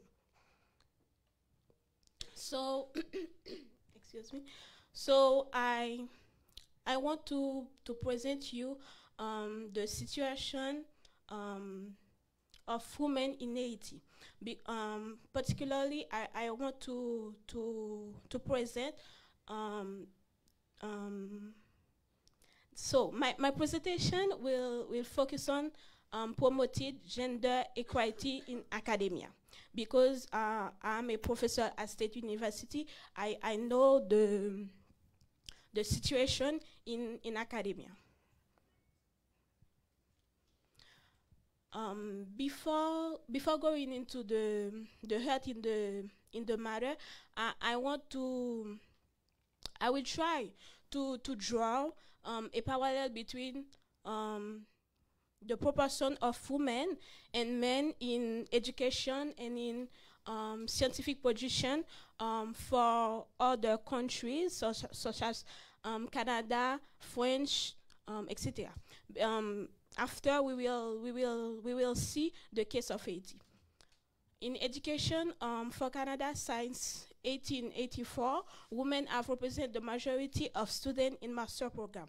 And in 2008, almost 47 percent of doctoral uh, studying.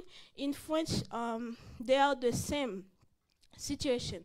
So um, the, the, the number of women excuse me, is inversely proportional um, at the to the hierarchical um, level. In French, um, we call the this situation um, pipe percid.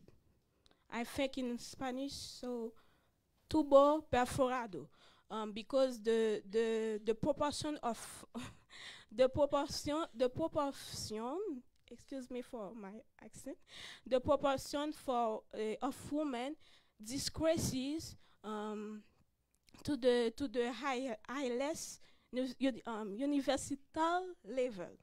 Um, for university professionalship, um, you, you can see the the low the low percentage of women in these sectors. For productivity or scientific production, women on average published 40% to 50 fewer, fewer articles than men. And in USA, but in in Canada, the volume uh, of article published by women represent between 17% and 18%. So um, women succeed on average to publish in magazine almost at city as those were men published and even in better journal, however, the article is less cited. So um, uh, um, there are a, lot of reason for this situation. For I can I can I can take only some some some some gender barriers for for this situation. So um, because um, first first first firstly family responsibility. Um, women generally um, are greater family responsibility than men. And um, this responsibility, these responsibilities um, um, affect the participation in the international or national conference and in in and affect also the the visibility uh, of their road. So less um, because uh, women women's article set less seat than those of men. Second, um, author seniority. S- um, euh, dans le sens que non, excuse me. Et c'est uh, author seniority. Um, a lot of a lot of research show the a lot of research show the the the the men are are younger younger younger women so um um um men are generally men generally are a, uh, the boss the boss of the of the scientific council council A- and after women are the minority in the research work workforce. Um, you can see in the in in this this this graph whether no matter no matter science you can see the the the low proportion women than than men. Okay the case of haiti. Um, after uh, before to to present the the the the different gender barriers in Haiti, I, I want to present the socio-economic and political context in Haiti. Um, relatively low literacy rate of um, 62.1 percent, socio-educational inegalities, drop in co- common in income, and lack of basic services, women are poorly represented in the legislative. Um, we are only four women among more than 100, 100 parliamentaries. So you can see the, the, the test of laws uh, are mostly written by men. So about blockage uh, related to gender equality in, in, in academia in Haiti. Um, I can take sexist educational system, stereotype about the, the social role, um, because um, in Haiti um, we consider the the woman like house wife. So um, Haitian women Haitian women are made to to to take care their children in their homes. So um, um, uh, the the scientific field is is very bad. See, I can say that. So because um, because for difficult for them to to drag between the the field and and family. After low level of education of women, um, you can see this grace in blue. That's that's um, women and orange men. The la- uh, this there you can see a low level of education. Uh, no, for low proportion of women at university, you can say low low proportion of women of education about um, this grace, this graph. Consequences. Um, um, low proportion of women at university include low proportion women, low proportion of women of professor. Um, for for example, in in the in the faculty uh, uh, where I teach, um, there we are only 16, 16 female professors against um, 17 male professors. So um, uh, uh, about the disgrace, you can see the proportion, the low proportion women in blue, the low proportion of women professors in blue in disgrace. Of the 37 members of, of the university council, there are three, only three women.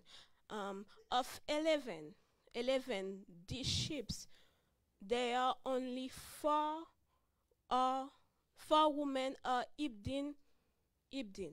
So four men are Ibdin by men in the deep, deep ships. So for promote gender equality in academia, I think uh, firstly, firstly, um, must must must change the mentality. Will it much change the mentality like a real our ways renewal renewal of tunes um, by sensi- sensitization by sensitization and by better academic or education um, and and create a, and create also um, a association of, of scientific and socio and socio-professional women. Eh, and and promote promote inclusion of women in scientific field. Eh, facilitate facilitate lax access to higher position either in academia, um, administration, science, etc. And, and, and finally, obtain, obtaining better better wage. And finally, um, Haitian society is a patriarchal society with difficult socioeconomic and political context. Um, is not is not very very good for the for the young scientific or for the um, scientific. Um, university must be the in solidarity with the creation of a community of teaching and scientific research with the full and no discriminatory discriminatory participation of Haitian women. Um, a good news. Since 2012, there were at least 30% of women in our state uh, institution. So it's it's a first step. Um, the, I think the creation of space or conference like like like this for the promotion of gender equality is fundamental. Thank you.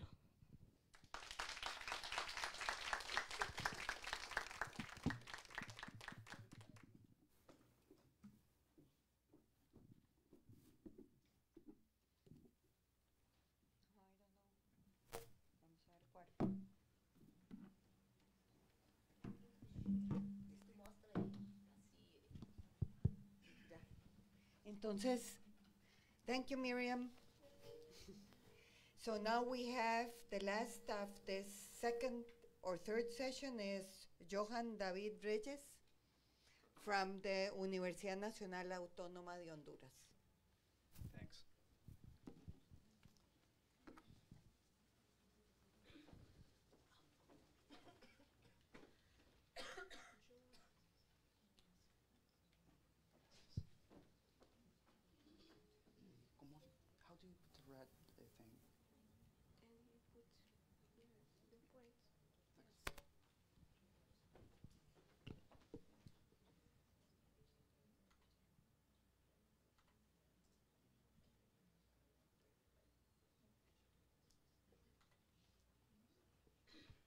Okay, let's um, face the big elephant in the room. Yeah, another man talking about gender equality, right? Eh, I'm going to to take my own time because I might digress a lot. I, I don't know if I said that correctly or you understand me. Okay, so let's begin with something. I am I'm representing right now uh, Zamorano University as I am a um, research associate. And let me tell you something. In Central America, we have a lot of very special things. I am not being paid also. and not because I have a salary, it's because it's free. I am a research associate because it helps doing research. Funny, right? Eh, where is Honduras? Do you know where it is? Eh, if you're from Central America, please don't answer. Okay, this is Honduras. Eh, we have um, the Pacific Ocean here, the Atlantic Ocean here, and we have a big lake. That's not Honduras. This is so. Um, this is not Honduras either. It's this one. So do do you notice that we in Central America are really really close and have a lot of similar conditions? And I just realized that not just Central America, Latin America has a lot of very similar conditions. And it's really funny because Guatemala, Nicaragua, and well, I think that's it, can relate to this. My passport has a map on it. Costa Rica doesn't have a map, right? You have your uh, logo. Yeah, it is shield. So you can see that even when I'm not from close from here, women have the same problems. And this is coming from a man. So let's get a little bit of context because context is very important. We have over 9 million, um, you know, on our population. S- But a very important factor on science is the poverty line. So we have 70% of all this 9 million population living below the poverty line. What does this mean for science? Science is a mid to high level income career. This is a big problem as poor people cannot afford to study science careers. So there is a underlying statistic that nobody have told me where they get this, but in the university in my alma, ma- in my alma mater, they manage this statistic. One in every 1,000 childs finish high school. Just one in 1,000.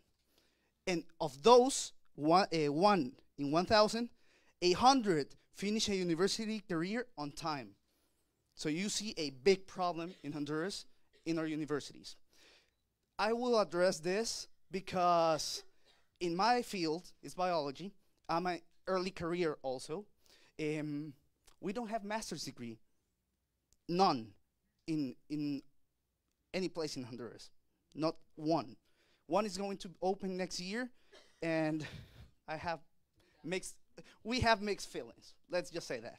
So we'll face a gender bias, eh, like a ponderate thing. It's, it should be easy, right? We have almost 50-50, but it's not. We don't know how this affects women, and I think we can correctly guess it affects, it affects them more. This is my alma mater, and I found this really funny. I'm using the same picture. Um, how do you call it, periodista? Journalists use this same picture all the time when there is problems at my university. We, in the last three years, had uh, one year off because of strikes. So you can guess how Honduras is. So let me start, and I'll have to use my my cheat here. That, well, he, I said that, I said that. Well, I want to, s- to search for numbers about how um, the four main careers in science in Honduras um, were behaving with women and male students. And I found something really, really amazing. In my field of biology, 57% are women. It should sound right, right? Uh, everyone has been exposing that the majority of biology is women. Our faculty director is a woman. Our teacher coordinator is a woman. And of just five PhDs, three of them are women. Sounds really good, right? It's not. And let me tell you because, uh, because of that. Biology has a big boom right now in my country. So there are more students right now in my career than graduates in the entire history of biology. And I am seeing, as a man, a big bias for men. And she won't let me li- uh, lie here. I think I have this picture. Uh, I have a brilliant uh, colleague. Her name is Rosa Ramirez. I was selected for a job, and they asked me to propose to people. So I proposed her because she's way smarter than me. He's, she's a brilliant botanist. And my boss told me she cannot be with you because she's pretty. And she's going to uh, alterate the boy's feelings. And I was like, eh, she's way better than me. Like, why am I leading this? She has to be leading it, not me inviting her. Uh, it's enough to say that he said a lot of more things that I don't want to repeat. So, I have found a big exception in fieldwork. Coastal marine resource management is dominated by women, and that amazes me because this brilliant woman, like they're not just brilliant women, brilliant scientists. Let's call them that because they deserve that. They are working very hard on science. If you search for Honduran science, coastal marine uh, resource management is the biggest production in biology. That that is good. Not the gender bias in my career. And right here, our senior representative, back then when she studied biology, had an experience. We have a brilliant botanist called Cirilo Nelson. Um, he is a black scientist, so it's good on that field. But you can see that he selected boys as uh, his assistants because they could climb trees better than women, not because their quality or their knowledge. So that's the experience I have in biology. So now you see that this data, um, it's quite incomplete. In chemistry, it's dominated by women. Big domination there. 76.7% of all students are women. The faculty director is a woman. Teacher coordinator is a woman. So um, I have a roommate. She is studying chemistry. So I asked her what their situation was over there, and she told me it's fine, it's great. My majority of instructors are women also. So it's not that it's this number is lying, is that society is imposing them to just pursue chemistry. And it's really funny for me that the career in science that I found most dangerous in Honduras is a woman driven career because they think they are medical visitors. They have to put, you know, short clothes to go seduce uh, doctors to buy pills. so I asked her about that, and she told me, no, women in chemistry do know the value of science in this field. That is amazing. A bad perception has approached women to a very interesting career. What I think of chemistry, the first thought is this one. women's first thought when they enter in uh, in chemistry is this one. And uh, if you don't get the joke, uh, when you uh, measure how many, um, yeah, you're measuring the quantity of a, a- a chemical composition. You add um, a, sol- a little drop that turns the the chemic into a pink solution almost. In that way, you can detect how much. Yeah. Oh, sorry. Okay, she is my roommate, and she's brilliant uh, student. She is going to graduate with cum laude next year. So in math, not a surprise, right? Faculty director, men. Teacher coordinator, men. 76.7% of students are men.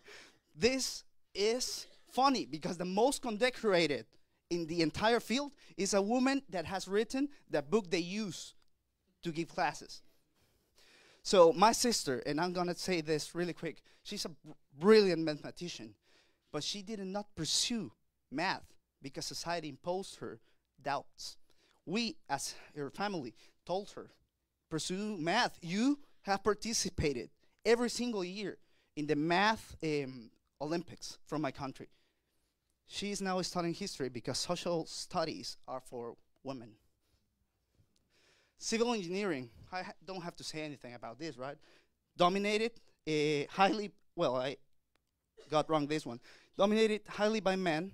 Faculty director, a man. Teacher coordinator, a man. 24.5 of students are women.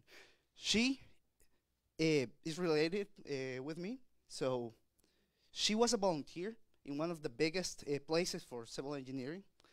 80% career done, so she could go to an internship, turned down for being a woman, because their CV specified that he, it has to be a man to be a, in an internship. In the same place, she was a volunteer. Physics, only four female teachers. Only four female teachers. 76.7 uh, uh, are men. I think I got wrong this data actually. But the faculty director, men. Teacher coordinator, a man. The general landscape, and this is important. We need to see the, variab- the variables when we see things. Faculty director, two out of five for women. Teacher coordinator, two out of five for women.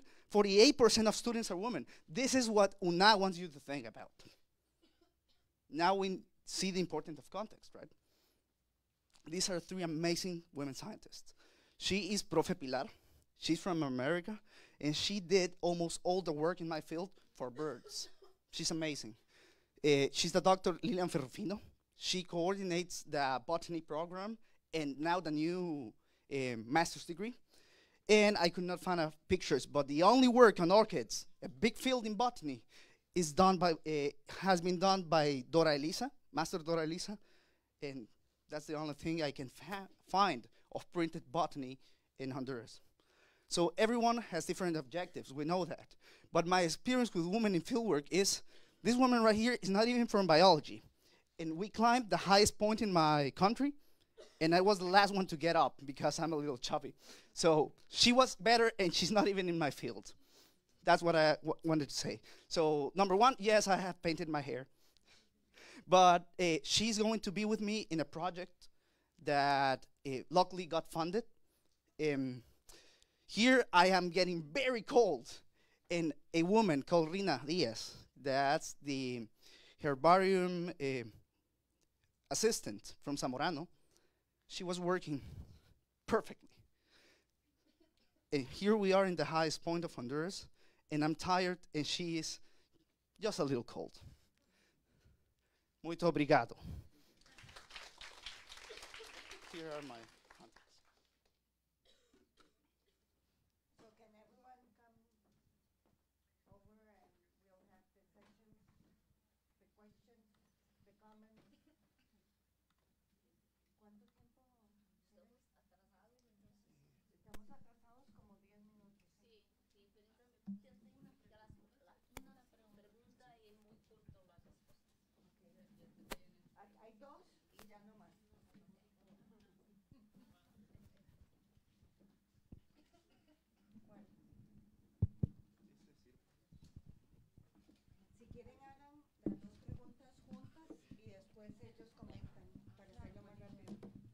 Well, thank you all the speakers for very interesting presentations. and my question is, uh, in your countries, do you have government finance programs to support research? Bien, yo quiero ser corta, pero estoy muy impresionada, estoy encantada con lo que he oído. Me ha parecido excelente la idea de estas, de estas presentaciones, es lo que necesitábamos. O sea, nosotras necesitamos en América Latina unirnos. Tenemos en Colombia la Red Colombiana de Mujeres Científicas adscrita a la academia y todo esto que yo oído hoy es lo que, en lo que hemos trabajado. Tenemos ya planes a tres, a cinco años, entonces los invito a que nos unamos y a que hagamos todas juntas algo en pro de las científicas, de las mujeres en general y en particular de las científicas. Me encantó el evento. Muchas gracias.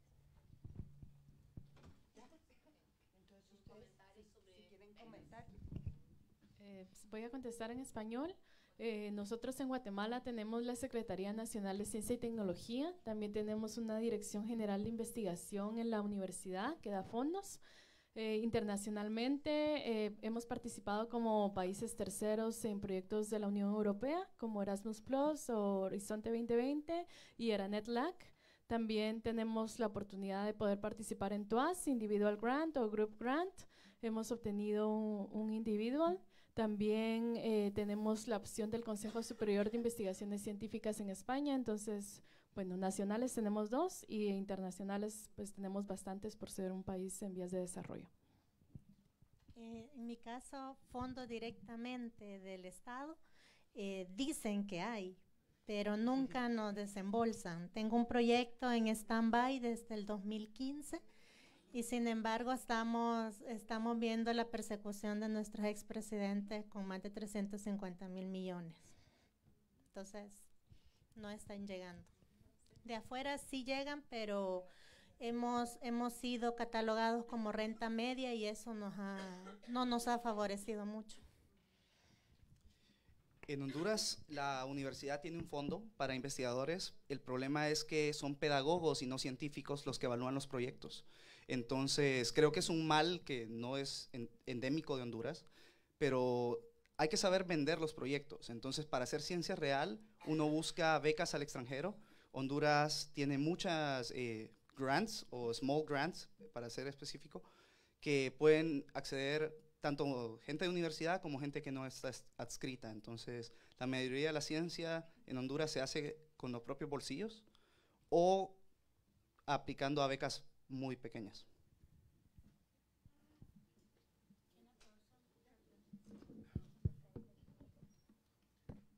So, I, I don't speak Spanish, the, so I don't understand. what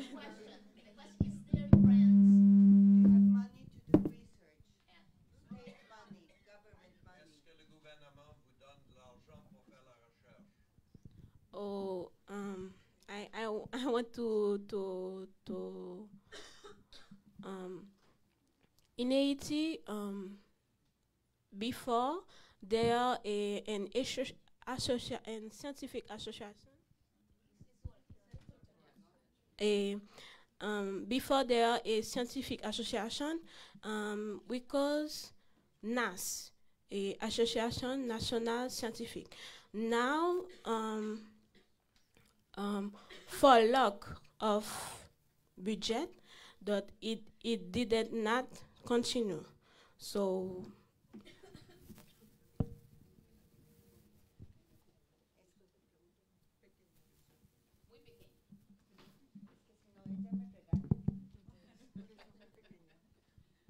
Solo para sugerir que desde Llanas, nosotros recomendemos a Llanas sugerencias para los determinados países donde no se está viendo la investigación tecnológica e innovación, o sea, investigación científica, tecnológica e innovación, que tiene un rol importante en el desarrollo de cada país. Sugerirlo y que a la mujer se la considere también. O sea, nosotros a Llanas en general y Llanas a los países que hemos escuchado que realmente nos afectan bastante como eh, Latinoamérica y el Caribe.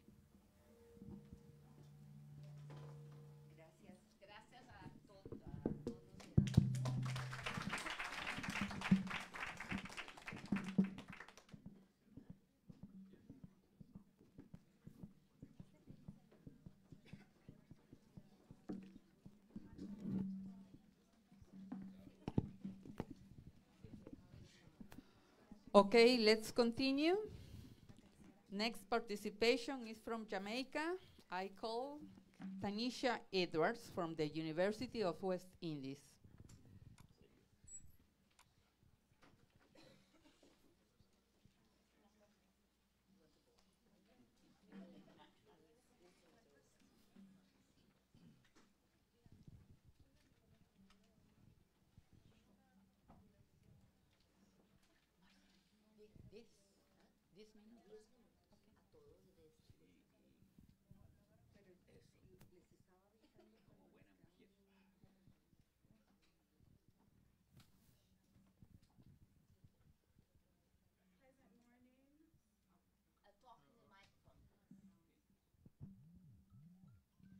I'm very pleased and grateful for the opportunity to be here.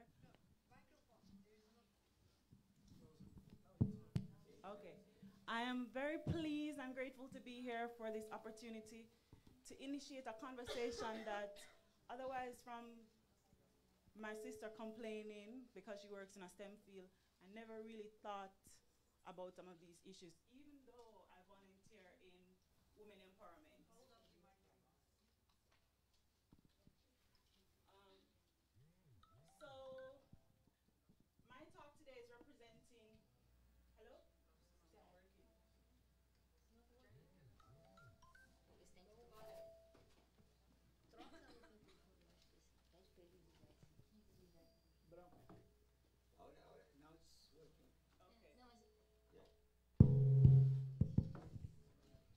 Thank you. Right, so I'm going to represent Jamaica here, and the University of the West Indies is a, is a regional university, and uh, we are about 36,000 students, right? Um, so the general gender enrollment in Jamaica tertiary institutions is one to two uh, for male to female. So it's much more males, um, much more females rather, than males in Jamaica. And there's no faculty at all in UWI Mona because we have more campuses. No faculty has more males. And you can see these photos with a lot of um, females. And this is the STEM cohorts, gra- uh, graduating cohorts. But when you get to the Faculty of Science and Technology, there's a shift and there's now a one to one ratio of males to females. So what's happening is that all the males that are attending university and Mona are concentrated in the STEM field and the females are dispersed among all the other faculties. Um, and, in, and that's for the undergraduates. In the postgraduate um, situation, there's a fluctuation from a one to uh, two ratio over, um, between the years. But the enrollment and the graduation rates are not in any way representative of the employment rates, and this is where we have the problem in Jamaica. But the Jamaican government have talked about this and they've tried to influence the perception of the general population. And so you've seen in media releases where they're talking about STEM and um, encouraging the involvement of the general population, the general student population in STEM. And now, as we progress to 2018, they're talking about encouraging women to be more involved in STEM fields and now girls to consider careers, more careers in STEM fields. And so this is changing the general stereotypes in the normal homes once you're exposed to media. So now I move to my personal experiences, which starts with my when I was a baby here. This is me and my grandma, my mom, my grandma, me again, and my son. So these should question marks should be X's. But my grandmother, she had a very strong personality. She was a divorcee in a time when that's just not acceptable. Um, and she definitely didn't want to want me to be a nurse. I at one point wanted to be a nurse, and she said, "No, that's a servant role." Um, I wanted to be. By the time I started thinking about other roles, which employ a lot of Jamaicans in tourism, um, all of these she would say are servant roles, and so she didn't tell me what to do, but I was looking to avoid servant roles. and so, long story short, um, I wanted to be a medical doctor, but then I changed, and now I'm a geologist. right.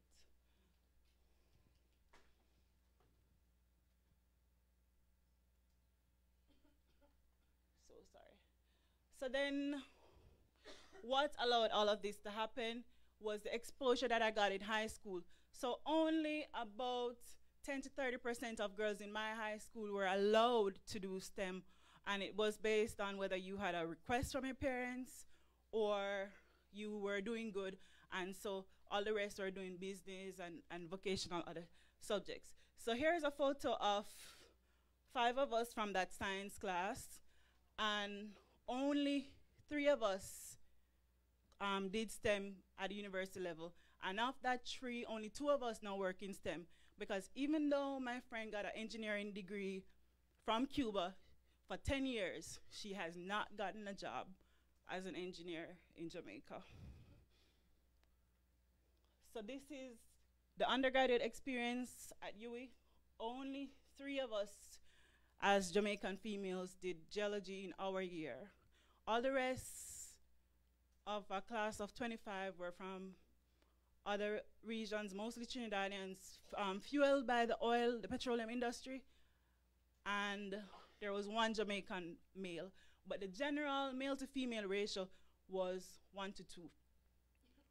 Um, and so this is the three Jamaicans and one Trinidadian. All of us have initials, first initials, starting with T, and, and we work together. And some of the experiences I'm going to talk about for um, one of them, two came out of STEM. They're working in social sciences because they couldn't get or maintain permanent jobs. And so this is me, straight out of university, working at the Caribbean Cement Company. Um, they've resisted hiring um, geologists and female geologists for a long time, and it was very strategic to get in. Um, I had to do my undergraduate thesis through them, and so I was working with them, working with them, then volunteering, and all of that to really get in. And then when I got in, I was cast aside to some remote location, remote quarries, which was really difficult. And then I had the opportunity to prove myself engaging in um, risky behavior. This I wouldn't do again. Um, a whole bunch of other things. And then after that, I had a volunteer opportunity to work on the seismic research vessel. And I was the only female on this research vessel, and they made no secret of telling me that this vessel wasn't designed for a woman. There's no space, there's no um, official provision. The room that you're gonna be sleeping in is borrowed because we don't have anywhere to put you. But gen overall, I didn't think, oh, I was happy to be on this research vessel. I mean, I was going to be the um, only female admitted, and I took my photos and I disregarded everything that was going on because, of course, I wanted to make use of opportunity. So this is my friend who did the undergraduate degree with me, and she's still working in STEM, and she's working in the public sector, um, the Ministry of Mines and Geology, and all of that. Now, I lecture at the university, and so colleagues from here, they tell me when they need people for some of these roles. And we have a big brain drain problem in Jamaica with a lot of people with technical skills migrating, and so sometimes we get these vacancies. And what happened is that they call and say, we have a position for a male. Pass this on to some males. Um, and my friend in this case, is kind of accepting of this because she's like, well, yes, those roles pay more money, but I don't know if I really want to do that kind of work because they have to go to the mines and inspect. You might deal with male owners of the mines who might not be decent, and even the males have to carry um, guns and all of that. So, so what's happening here is that they separate the units. They have a research unit, which is where they put the females in prison, that research unit, and then they have a male unit, which at one point here, the head of it was female, and they've seen to it that no more uh, females enter. So when this head female was promoted, there's no more female in this unit, and there's a substantial pay difference. And they specifically say they want males only for these fields, and they don't ask, would you like to do this sort of job as a female? Um, and this is my sister who is much more aggressive and she works in the um, oil refinery. And she's fighting all the challenges. And this is, I can't go through all of it because my time is probably up. But she actually won after causing a big, big stink and getting the union involved and giving an ultimatum because they're supposed to respond to fires and this was a fire training and she was shafted and the males are going and in her field in her lab it's five males to one female. So if they keep putting younger males ahead of her she'd never go. And she said well i'm not responding. I'm not responding to any fires and i'm not going on any drills and any of that. So fire me. No. So yui okay. Um, So this is the final slide. Jeez. I apologize, I had so much to say.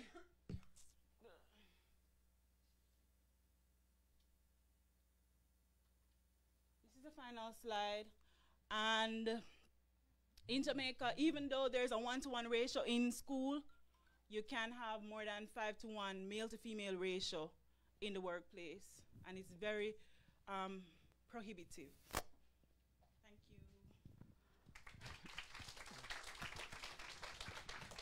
Thank you, Tanisha. Now I call from the representative of Nicaragua, Fania Cadira Pérez Mendoza, de la Universidad Centroamericana.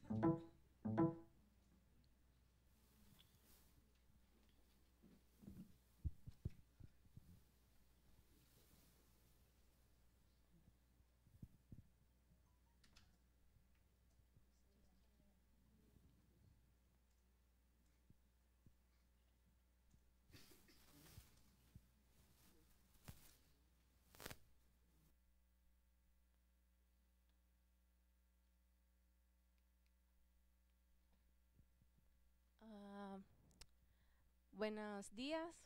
¿Se escucha? Ok. Voy a hablar en español porque en inglés tengo la tendencia de hablar muy rápido y me quedo stuck. So, así que voy a hablar como en español. Eh, me encantan todas las presentaciones de mis colegas. He visto que han presentado muchas estadísticas. En mi caso, eh, decidí hacer esta presentación un poco más personal, desde el punto de vista interno como una joven científica de color em, que trabaja en salud. Así que para empezar, les presento a mis padres. Eh, es una pareja interracial, mi mamá es nicaragüense, mi papá es cubano, mi papá es médico, mi mamá por motivos políticos del país, o sea, Nicaragua es un país que siempre ha estado como en inestabilidad política, entonces ella pues no, no logró terminar la universidad, pero siempre ha sido una mujer que le ha encantado eh, aprender por sí sola. Ambos me han motivado mucho a, a ser curiosa, siempre fui una persona curiosa. Mi papá se queja de que a todavía a estas alturas, a mis 27 años, no puedo ver un botón porque tengo que tocarlo. Entonces, él, cuando yo tenía 7 años, me regaló un microscopio solar porque yo siempre preguntaba por qué, por qué, por qué, por qué, por qué. Entonces dijo que ya estaba cansado, que me iba a dar un microscopio y con eso pues me ocupé mucho tiempo. Entonces, ese es mi papá con mis sobrinos. A él le encanta motivar a los niños a descubrir, a aprender. Entonces, pues estoy muy agradecida con ellos porque nunca me pusieron una barrera de decirme, sos una niña, no puedes ensuciarte, no puedes jugar con carros, no puedes subirte a un tractor. Todo eso lo hice, me subí a árboles, jugué pelota, he hecho pues todo lo que he querido. Em, siempre he tenido la influencia eh, de mujeres muy inteligentes en mi vida. Eh, esta es mi, mi, generación de la universidad. Éramos 28 estudiantes, de esos 28, eh, dándole de la vuelta a la historia un poquito, en este caso, seis eran varones. De esos seis varones, dentro de ellos estaban los mejores alumnos. Sucedía que ellos siempre nos subestimaron a las mujeres, en el caso de nuestra carrera, porque nada, como que se van por las ramas o están pensando en otras tonterías y no se enfocan en lo que tienen que hacer. Increíblemente, fuimos dos mujeres, allá estoy yo, las que nos dedicamos posteriormente a la investigación. Los demás chicos pues se dedicaron a su vida cotidiana. Ella fue una de las profesoras más importantes en mi carrera. Ella era doctora, ya falleció, era parasitóloga y siempre nos motivó a todas las mujeres de la carrera a perseguir la investigación, a nunca conformarnos, porque la mayoría de mis compañeras, cuando les preguntaban, ¿qué vas a hacer después de graduarte de la universidad?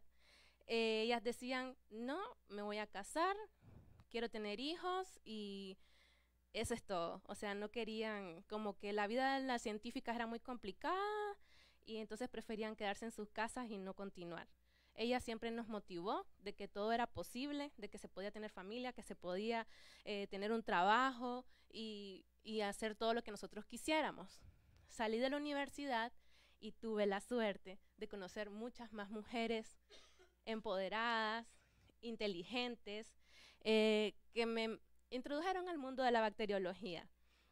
Eh, ellas trabajan para el Estado, entonces ahí fue donde yo, empecé a enfrentar eh, problemas como de, no exactamente inequidad de género, pero sí como que en Nicaragua no está muy, no se promueve mucho la investigación.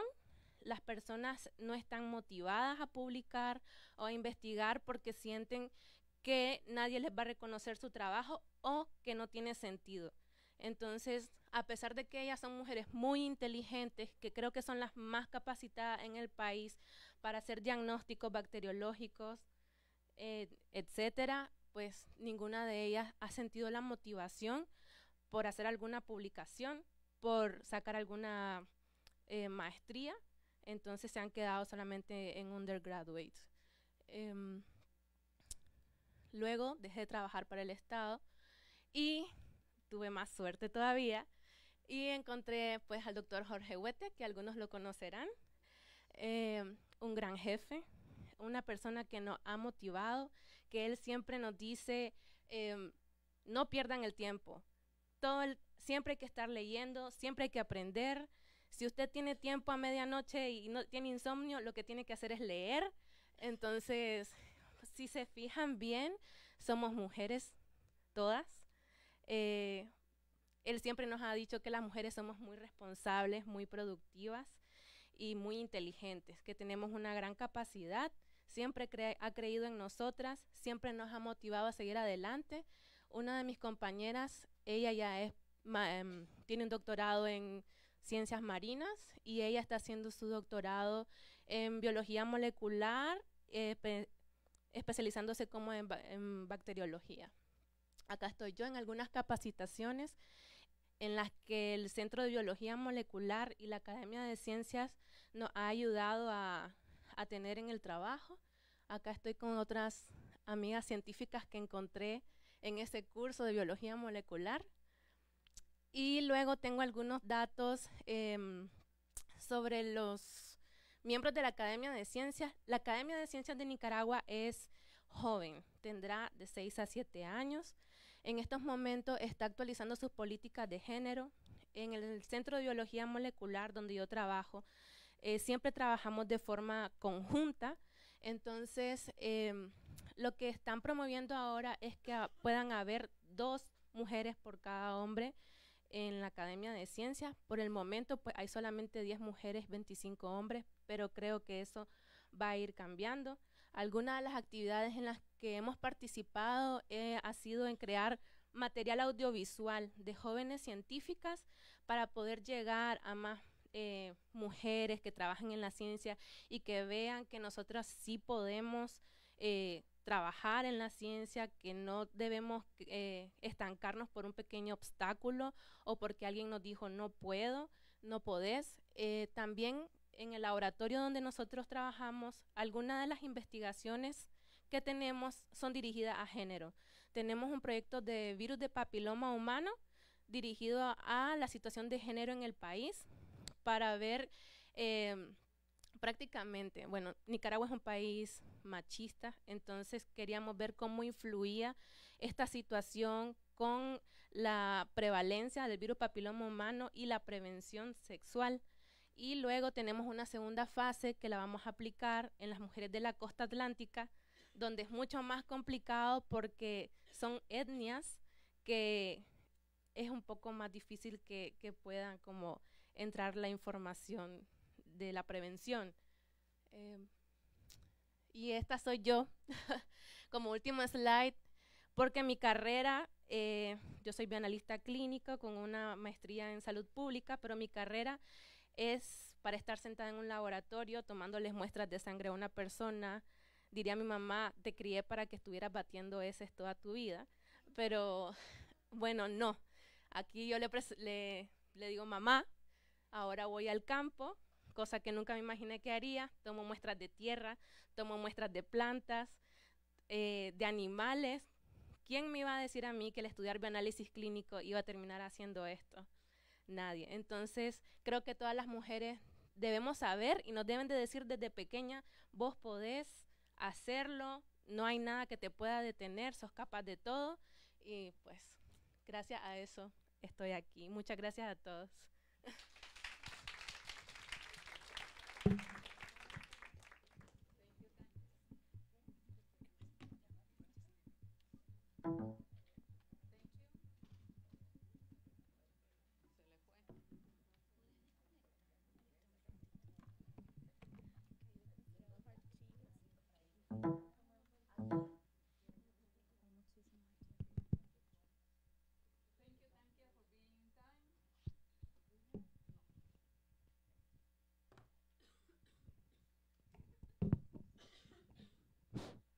Thank you, Tankia, for being in time. Our next guest is uh, Viviana María de Egea Garabano, de Paraguay, de la Universidad Nacional de Asunción.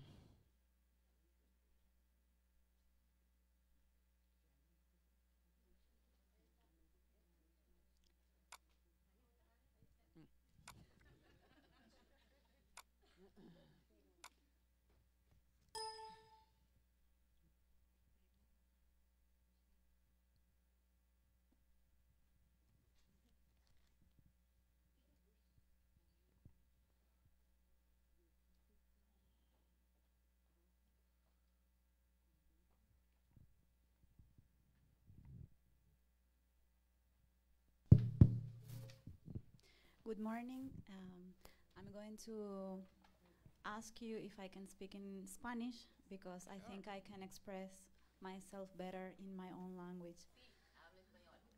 Yo amo el inglés. Me hubiera gustado ser bilingüe, a lo mejor en mi próxima vida, pero de verdad que no quiero pasar el bochorno de hablar, de hablar de mi vida personal en inglés. Bueno, yo quisiera como Johan hablar del otro gran elefante blanco en la sala, que es que honestamente nos mandaron muy escuetamente lo que querían que hablemos y yo creo que cada una lo presentó un poquito según su según cómo lo interpretó. Yo les voy a confesar que hasta el último minuto estuve agregando cosas según mis colegas estuvieron hablando, ¿verdad? Entonces, en primer lugar, me presento, soy Viviana De Gea, eh, soy de Paraguay.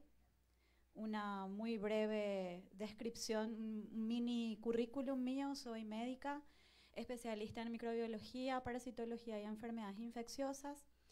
Eh, yo trabajo como auxiliar de la enseñanza, no soy profesora todavía de la universidad, en- empecé recién en el 2016. También trabajo en el Ministerio de Salud Pública de mi país y estoy, soy una investigadora asociada de un instituto privado sin fines de lucro que es el Centro para el Desarrollo de la Investigación Científica. Sí, trabajo en tres lugares, es la verdad.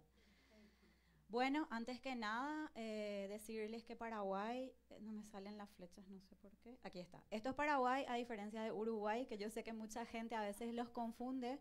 Son países bastante distintos, bastante, ¿verdad? Creo que hay una persona de Uruguay por aquí, lo va a poder confirmar.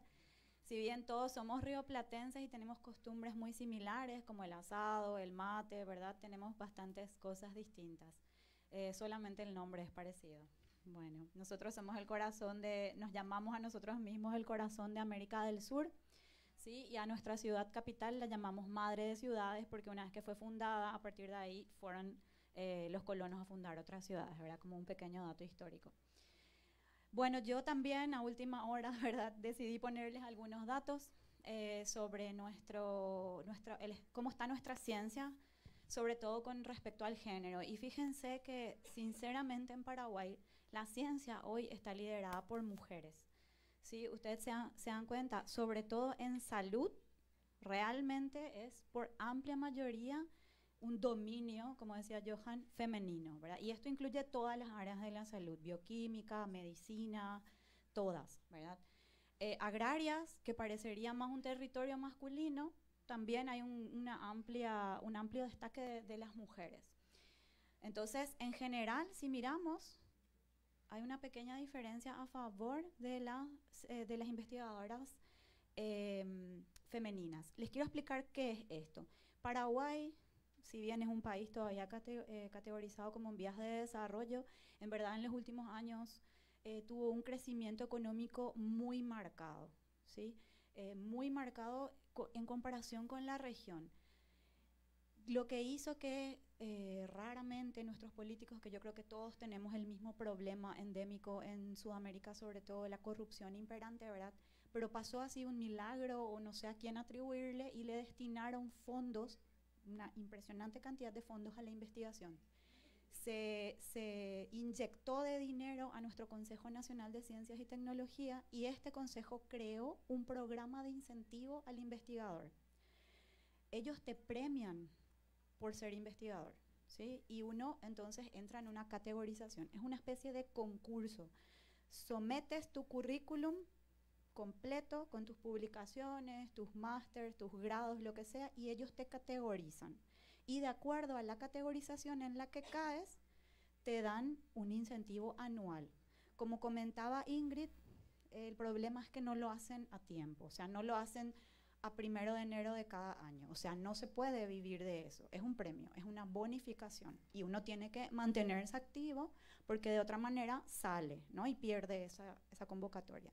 Entonces, esto que vemos aquí es las personas que están categorizadas. Evidentemente hay otros científicos que están fuera de esta categorización, pero este es un buen análisis situacional que tenemos. Eh, esto sí es todos los científicos paraguayos, no solamente los que están en la categorización, eh, su producción y eh, sus artículos publicados en Scopus, 2012 al 2016. Si bien los dos primeros lugares son varones, fíjense que otros lugares bastante importantes están, eh, están mujeres, ¿verdad? O sea, hay una amplia, hay una interesante producción científica de las mujeres y son prácticamente todas del área de la salud. Eh, yo no estoy aquí, a pesar que debería estar más o menos aquí, porque eh, esto uno tiene que estar filiado eh, como paraguayo, ¿no? Yo hice, luego les voy a contar mi vida personal, pero todas mis publicaciones fueron con mi grupo español donde yo hice mi especialización. Entonces ellos no me reconocen como una científica paraguaya y de eso les voy a hablar también después. Esto es si se busca a través de la plataforma Web of Science, otra vez. Los dos primeros varones que son brillantes hay que darle, o sea, el que, el que es, es, no importa el qué género sea, ¿verdad? Estas dos personas de verdad que son brillantes y tienen una muy amplia producción. Y luego ya las mujeres otra vez aquí en lugares muy importantes. Eh, esto también es la categorización otra vez y bueno, aquí abajo había un comentario que no se, se invisibilizó, que decía que realmente el dominio de, las, de los investigadores categorizados en este sistema que les comenté antes es femenino. Bueno, entonces ahora les voy a, hablar de mi otro currículum, ¿verdad? ¿Quién soy yo aparte de, de mi especialidad, de mi carrera y tal? Eh, como les dije, soy Viviana, tengo 35 años, estoy casada con Cristian, también de 35 años, que también es médico como yo, tiene otra especialidad. Y soy la orgullosa mamá de Sol, que es una niña de 12 años. Sol como el como sun, ¿no? Como el sol, como el astro rey. Y realmente ella es el sol de, de nuestra, de nuestro universo, ahora giramos en torno a ella. Eh, les voy a contar un poquito, creo que los colores no se ven demasiado bien, pero cómo fue mi, cómo llegué hasta aquí. Eh, realmente un poco como decía también Fania, mi papá, o sea, mi figura eh, modelo fue mi papá, porque él fue el que siempre me dijo que no había límites. Pesar de haber estado en un país, o sea, haber nacido en un país con un régimen dictatorial, cuando yo nací en el 83 todavía estábamos en dictadura, él solo tuvo mujeres, ¿verdad? Y eh, nos decía que no teníamos límites, límites son las estrellas. Entonces, él fue el que siempre me motivó a hacer lo que yo quisiera. En el 2004 eh, en, logro ingresar a la Facultad de Medicina de la Universidad Nacional a través de un examen de ingreso que es bastante competitivo. Sí, aquí estoy delante de nuestro hospital universitario. Dos años después, en el 2006, eh, durante la carrera, tengo a mi hija, ¿no? O sea, eh, me quedo embarazada y tengo a mi hija.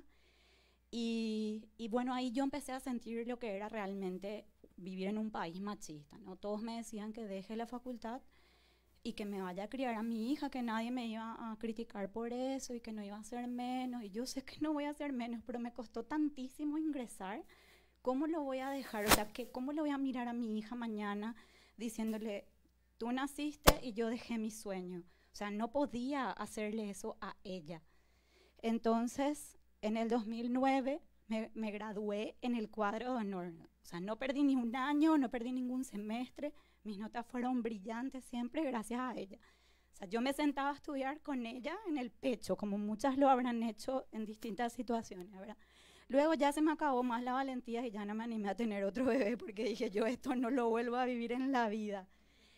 Entonces, aquí estamos los tres, mi familia, eh, cuando fue nuestro acto de graduación súper orgullosos. Mi marido también terminó, no se atrasó nada, me ayudó muchísimo siempre. Él no terminó en el cuadro honor, pero allá él, ¿verdad? Eh, luego, eh, no conformes con este gran desafío de haber tenido una hija en la carrera, decidimos ir a España a estudiar. Pasamos por otro examen muy competitivo, que es el examen de residencias médicas, que se llama MIR.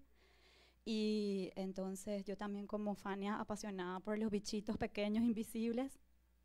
¿Tengo un minuto? Bueno, entonces, les quiero contar, voy a saltar todo, ¿verdad? Eh, les quiero contar, eh, en mi experiencia, más que ser mujer, realmente hay otras cosas que, que, que son eh, desafíos, ¿verdad? El tiempo. Les dije, o sea, tengo tres trabajos. ¿Por qué? Porque hoy en día ya la mujer no se queda en la casa, no trabaja mitad de tiempo. Entonces, yo tengo que contribuir la mitad del presupuesto de los gastos del hogar. Entonces, Tiempo tengo ya mucho menos que antes. Incluso cuando solo estudiaba y tenía a mi bebé, tenía más tiempo, ¿verdad? Eh, las oportunidades ya no son las mismas. Es decir, yo me encantaría hacer un doctorado o una maestría, pero yo ya no pienso volver a mudar a mi familia de vuelta a otro país.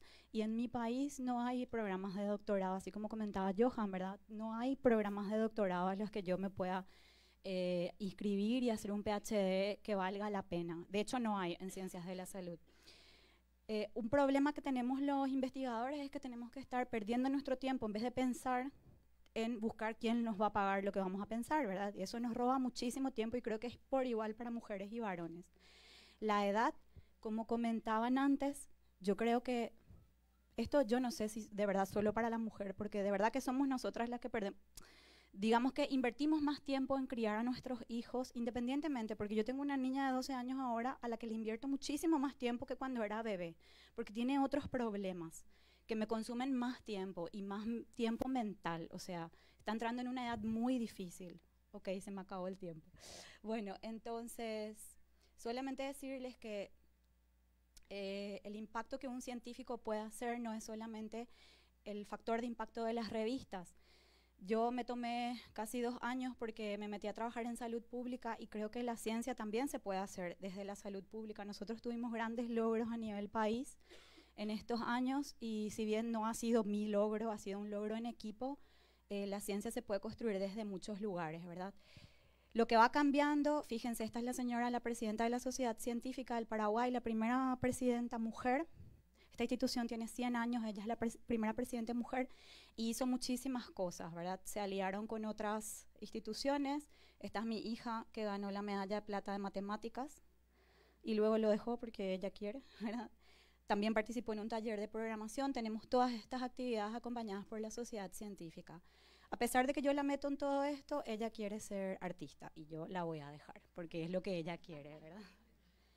Entonces, nada más terminar con esto. Cuando yo era pequeña, ser nerd era una vergüenza, ¿no? Yo me ocultaba cuando estudiaba o me iba a clases y decía, yo no estudié nada para el examen porque no quería que me cataloguen de nerd.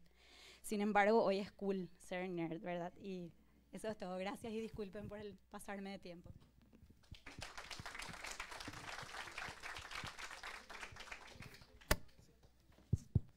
Next uh, presenter comes from Peru, Carla González Arimborgo, de la Universidad Peruana Cayetano Heredia.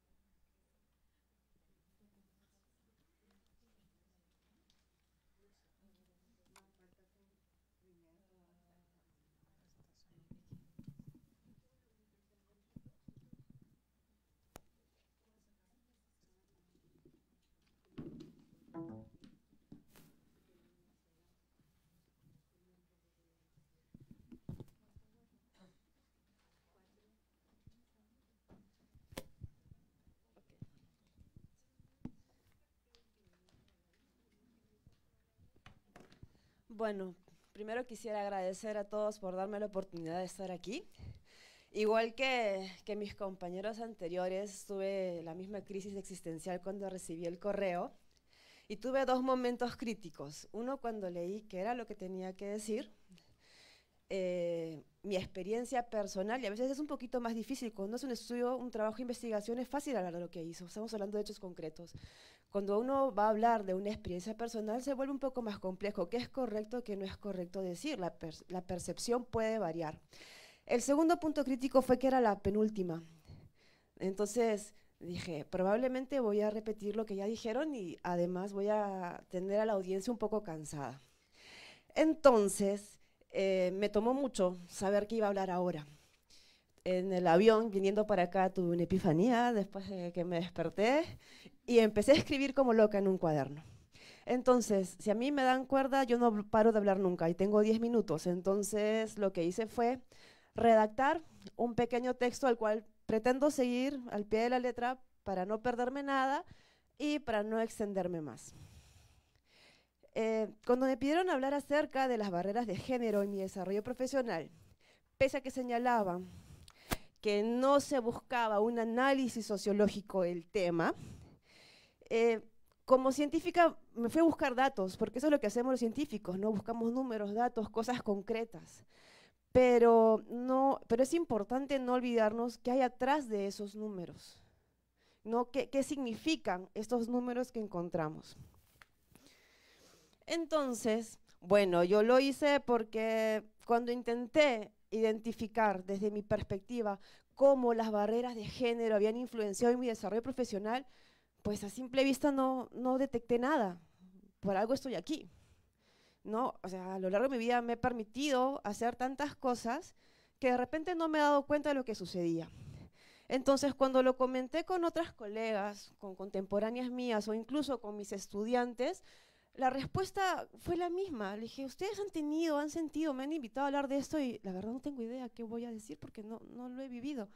Y me dijeron, pues yo tampoco, salvo algún, alguna broma fuera de lugar acerca de tus variaciones hormonales en el ciclo menstrual o, acerca, o algún comentario incómodo acerca de, si la falda era muy corta o los labios muy rojos.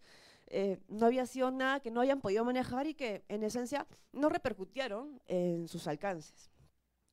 Entonces, ante esta respuesta pensé que una posibilidad era que no somos realmente conscientes de que estas barreras existen, puesto que vivimos en una cultura por esencia patriarcal y machista, a la cual en muchos aspectos nos hemos ido acostumbrando y hemos normalizado muchas conductas. de la breve revisión, muy breve, en realidad había tanta información, que hice, me quedé con un dato que me llamó mucho la atención, que era que más del 40% de investigadoras se encontraban en Latinoamérica. Ahora, si bien si ese dato este, se desmenuzaba en especialidades más específicas, sí, no, los, los, números eran variables.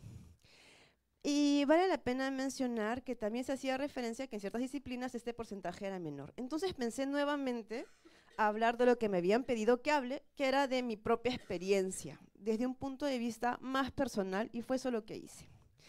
Y así decidí ser protagonista de, este pequeño relato a la persona más importante de mi vida.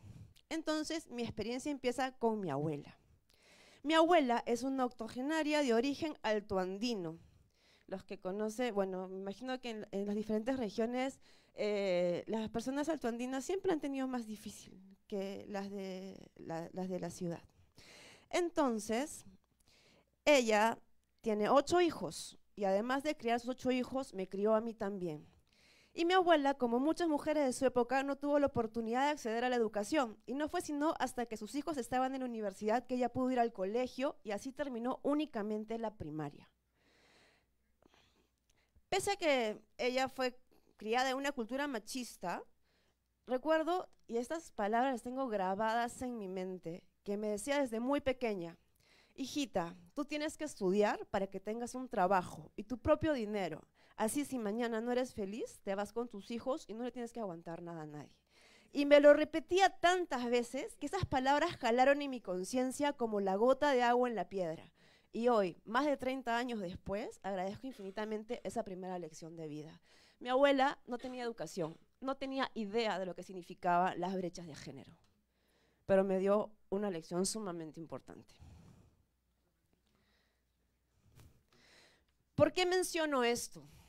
¿Qué tiene que ver la historia de mi abuela en mi vida con la reunión a la que nos han invitado hoy día? Y me viene a la mente una frase que hace un tiempo leí. Somos las nietas de las brujas que no pudieron quemar. Si nosotras todas estamos hoy día aquí, y tenemos una profesión, un trabajo, un cargo, y podemos darnos el lujo de compartir esta conferencia, es por la lucha, el sacrificio de todas aquellas que vinieron antes de nosotras. Y es gracias a ellas que cuando yo leí qué tengo que decir acá, dije, hmm, no lo he vivido. Y sí, no lo he vivido porque esa lucha ya la, la pelearon de lejos muchas mujeres antes a las que debemos estar agradecidas. Entonces, somos el resultado de la lucha y el sacrificio de muchas mujeres que lograron acortar esas brechas de género, quisieron que el día de hoy, al menos desde mi experiencia, el camino sea mucho más fácil de recorrer.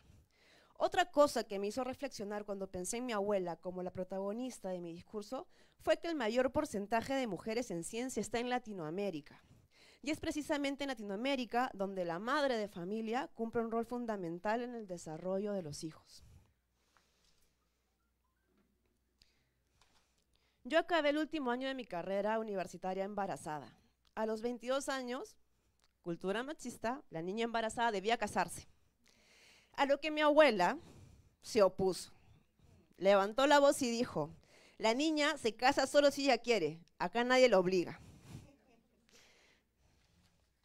Una vez más, fue mi heroína. Y gracias a ella tiempo después no tuve que lidiar con un divorcio engorroso.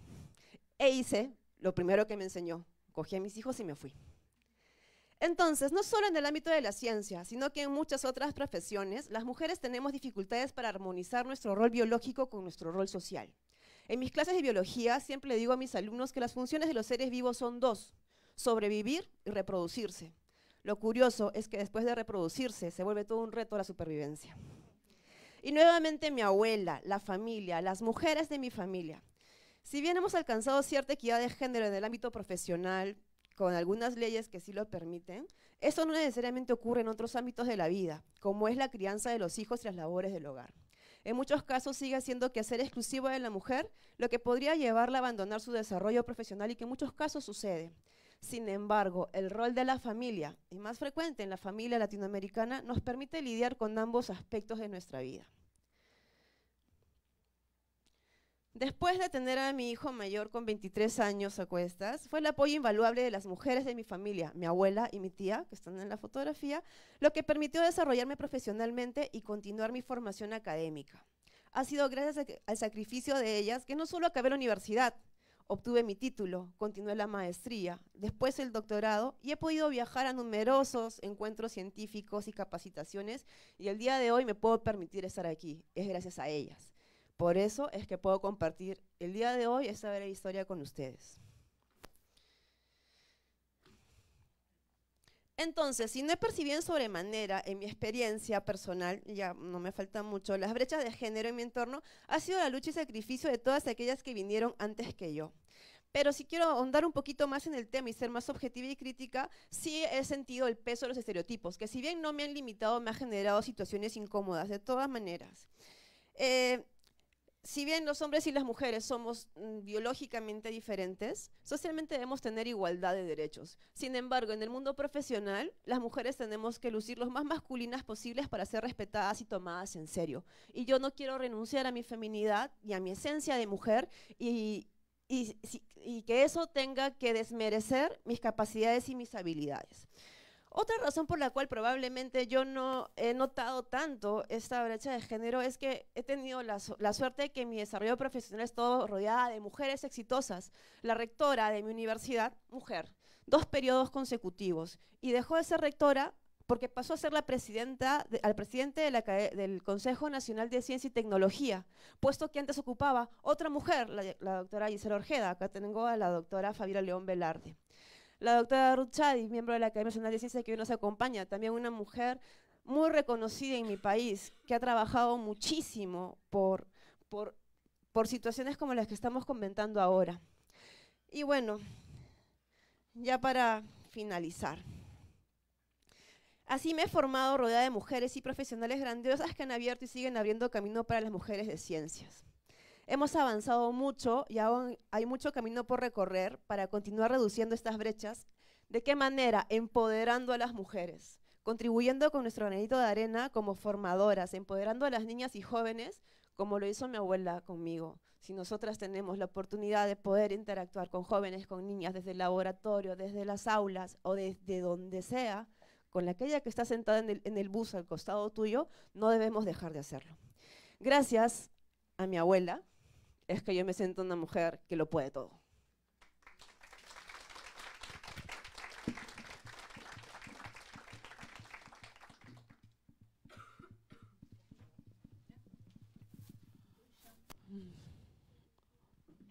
Well, to put a, a golden lock to, uh, to the session and to the, um, the whole event, let's finish with uh, Sofia Balfour from the University uh, of West Indies en Trinidad y Tobago.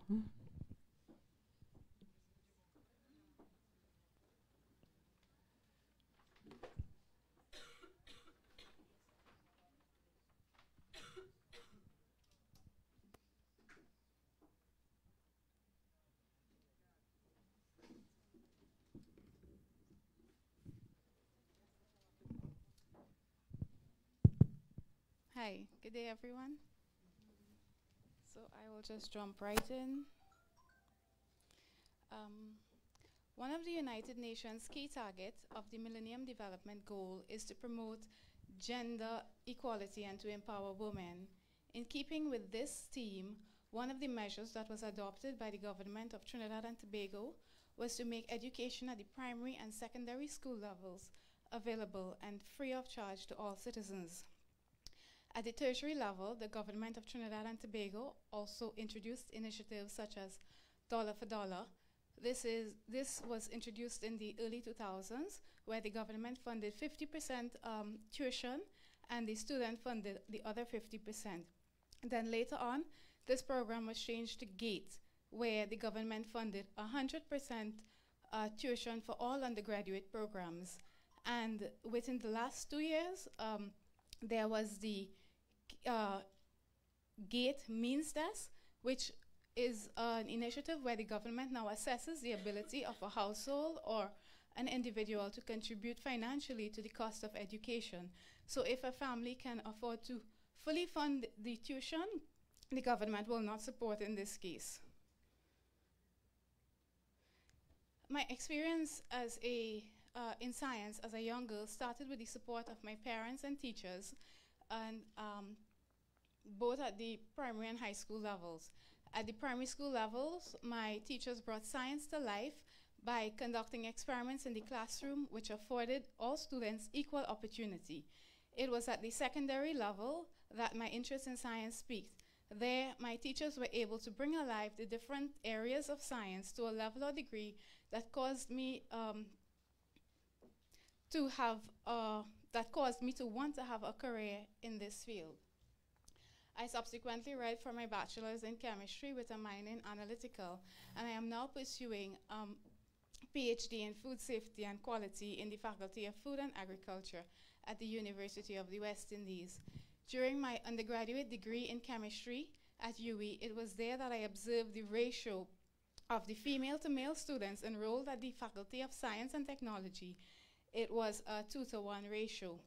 In conversing with my colleagues, both male and female, on the issue of the two to one ratio in favor of the female young scientists enrolled at the Faculty of Science and Technology, their responses were that the males were more interested in making money fast and enjoying life instead of studying. And this ratio at the postgraduate level continues to be at, uh, in favor of the females in that ratio of two to one. This is a graphical representation showing the comparison of female to male uh, in the undergraduate program.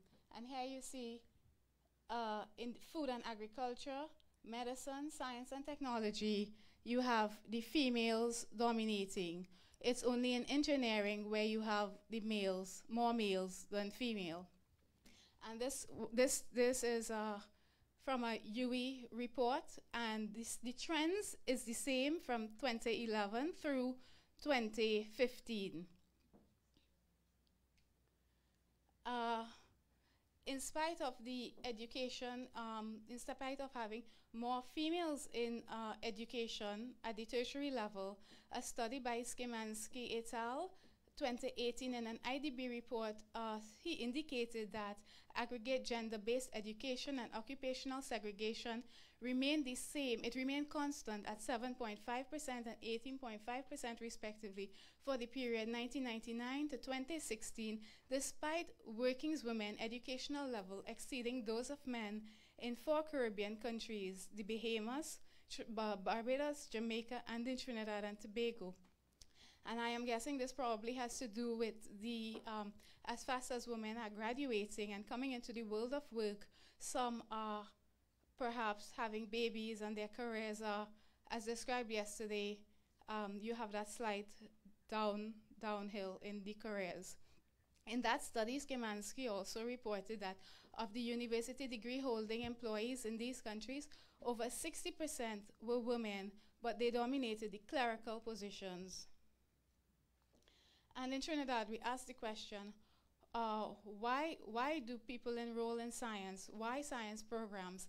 And a study from the mid-2000s uh, from NIHERST on the public perception of science inferred that 91% of the 1595 respondents, they were of the opinion that scientific knowledge could improve one's ability to make decisions. UWI, in recognizing that there's a gender gap between the male and female intake, UWI has introduced annually an open week, a faculty research day, symposiums, and agri-expo that targets all primary and high school uh, students across the country in hope that their interest will be piqued in at least one of the disciplines. Also, to promote gender, we have uh, many of our women scientists at, UWI are members of CAS and INS. CAS has collaborated with NIHERST and produced a booklet of Women in Science, Caribbean Icons in Science 2016. And Professor ba- uh, Neela Badrie from UWI has been using these chapters to increase the awareness of women in science. Also, to celebrate, uh, to promote gender at UWI um, for the 70th anniversary, uh, UWI intends to showcase the successes of women who have graduated from UWI between 1948 to 2017. Again, my supervisor will be recognized. Now, there are pros and cons to being a female scientist. Some of the pros would be, you know, attending conferences such as these to collaborate and to exchange expertise in the related fields, to make presentations, as well as to have papers published in peer-reviewed journals. However, and the cons, unlike my male counterparts, as a female scientist at job interviews, I was asked, are you married? Do you have children? And how will your family how will family life affect your research? I do have to work as hard as my male colleagues, but will also have to deal with additional comments based on dress code. Uh, like, for example, the male colleagues will say, um, if your pants are too tight or too slack, they will comment in Trinidad. And like, if you're exercising and losing or ga- gaining weight, they will comment on that as well. In my discussion with female, the, my female medical science peers, they indicated that the older male patients prefer to have more experienced male doctors tend to them than the young female doctors. And in discussion with my male engineer, uh, uh, engineering friends on their views about female scientists in the workplace, they had both pros and cons. They thought that the women engineers were equally knowledgeable to the male counterparts. They were more meticulous than the female engineers, and they thought that the female engineers acquired more, more networking support from, example, the subordinates, sub, sub- subordinates who were uh, readily willing to assist the female engineers in field surveys and measurements in the industrial environment, while the male engineers would have had to tend for, to themselves, for themselves.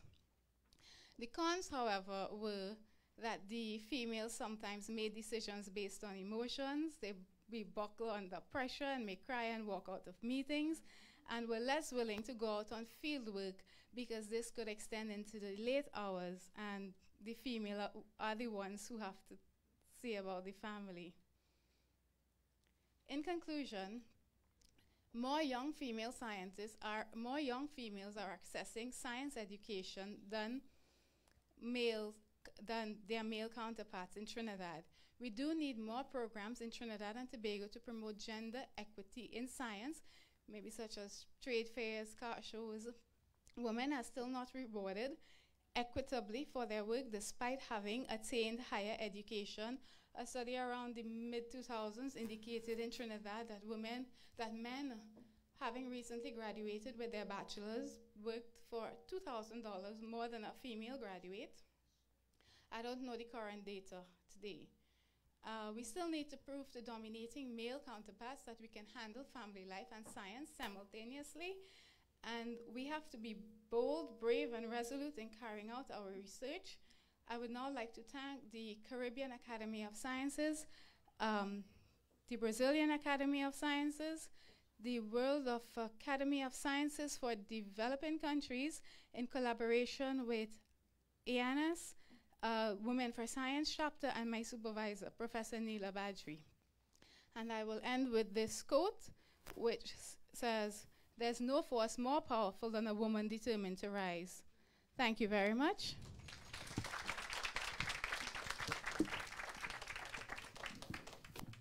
Now, please, I ask the the the talker, the speakers in the last session to come along for questions.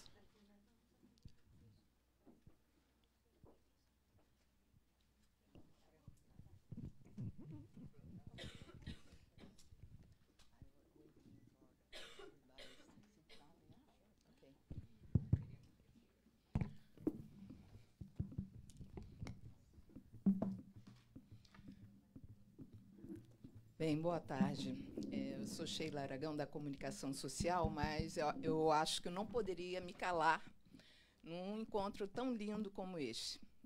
E, é, relembrando o que a Concepta Margaret, que ela não gosta de, do nome, mas é um nome lindo, né, da, da CAPES, o que ela disse ontem, que mais do que as oportunidades que dão a nós mulheres, tudo depende mais de nós mesmas.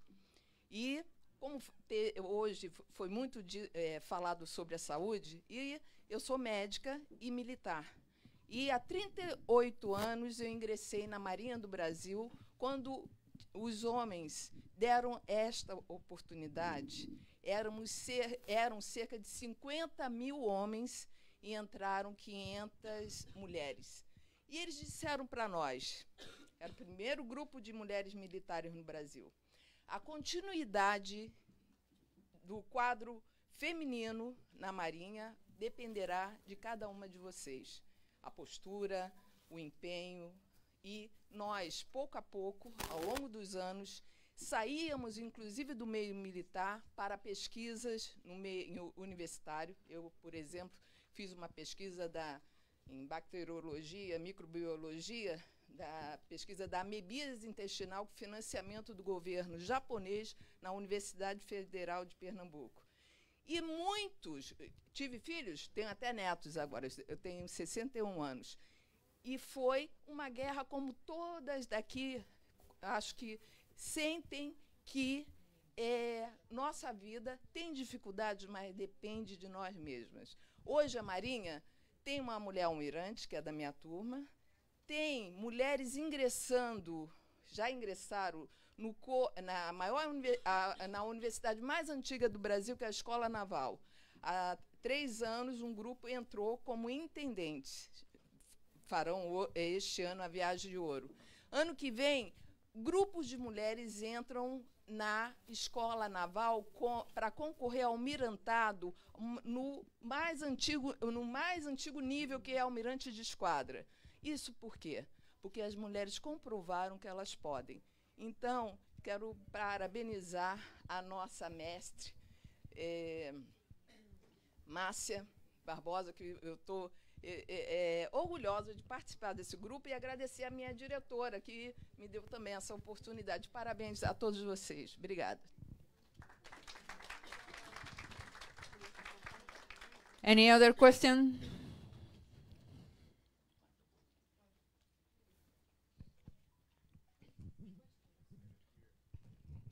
Muchas gracias a todos por la excelente presentación que hicieron ustedes eh, de lo que las respuestas que les pidieron en sus ponencias, así como al resto de personas que participaron el día de hoy. Tal vez yo no es una pregunta la que voy a hacer, sino que solo tal vez un comentario para decir que, pues qué bueno que las generaciones que ustedes representan ahora ya encontraron un poquito más fácil el camino y no han tenido que picar piedra como nos tocó a nosotras. Y creo que ahí no se termina, pero más sin embargo eh, ahora tienen muchas más oportunidades que nosotros y creo que mientras como mujeres pensemos que lo que lo podemos lograr cualquier cosa que nos propongamos, vamos a seguir adelante. Muchas gracias. Una más. One more. Ok. Então, terminamos. Graças a todos e todas. Um, first, I have uh, an announcement. After we finish, the IANAS group have to stay for a very quick wrap up. Okay, very quick wrap up. I'd like to finish the meeting by thanking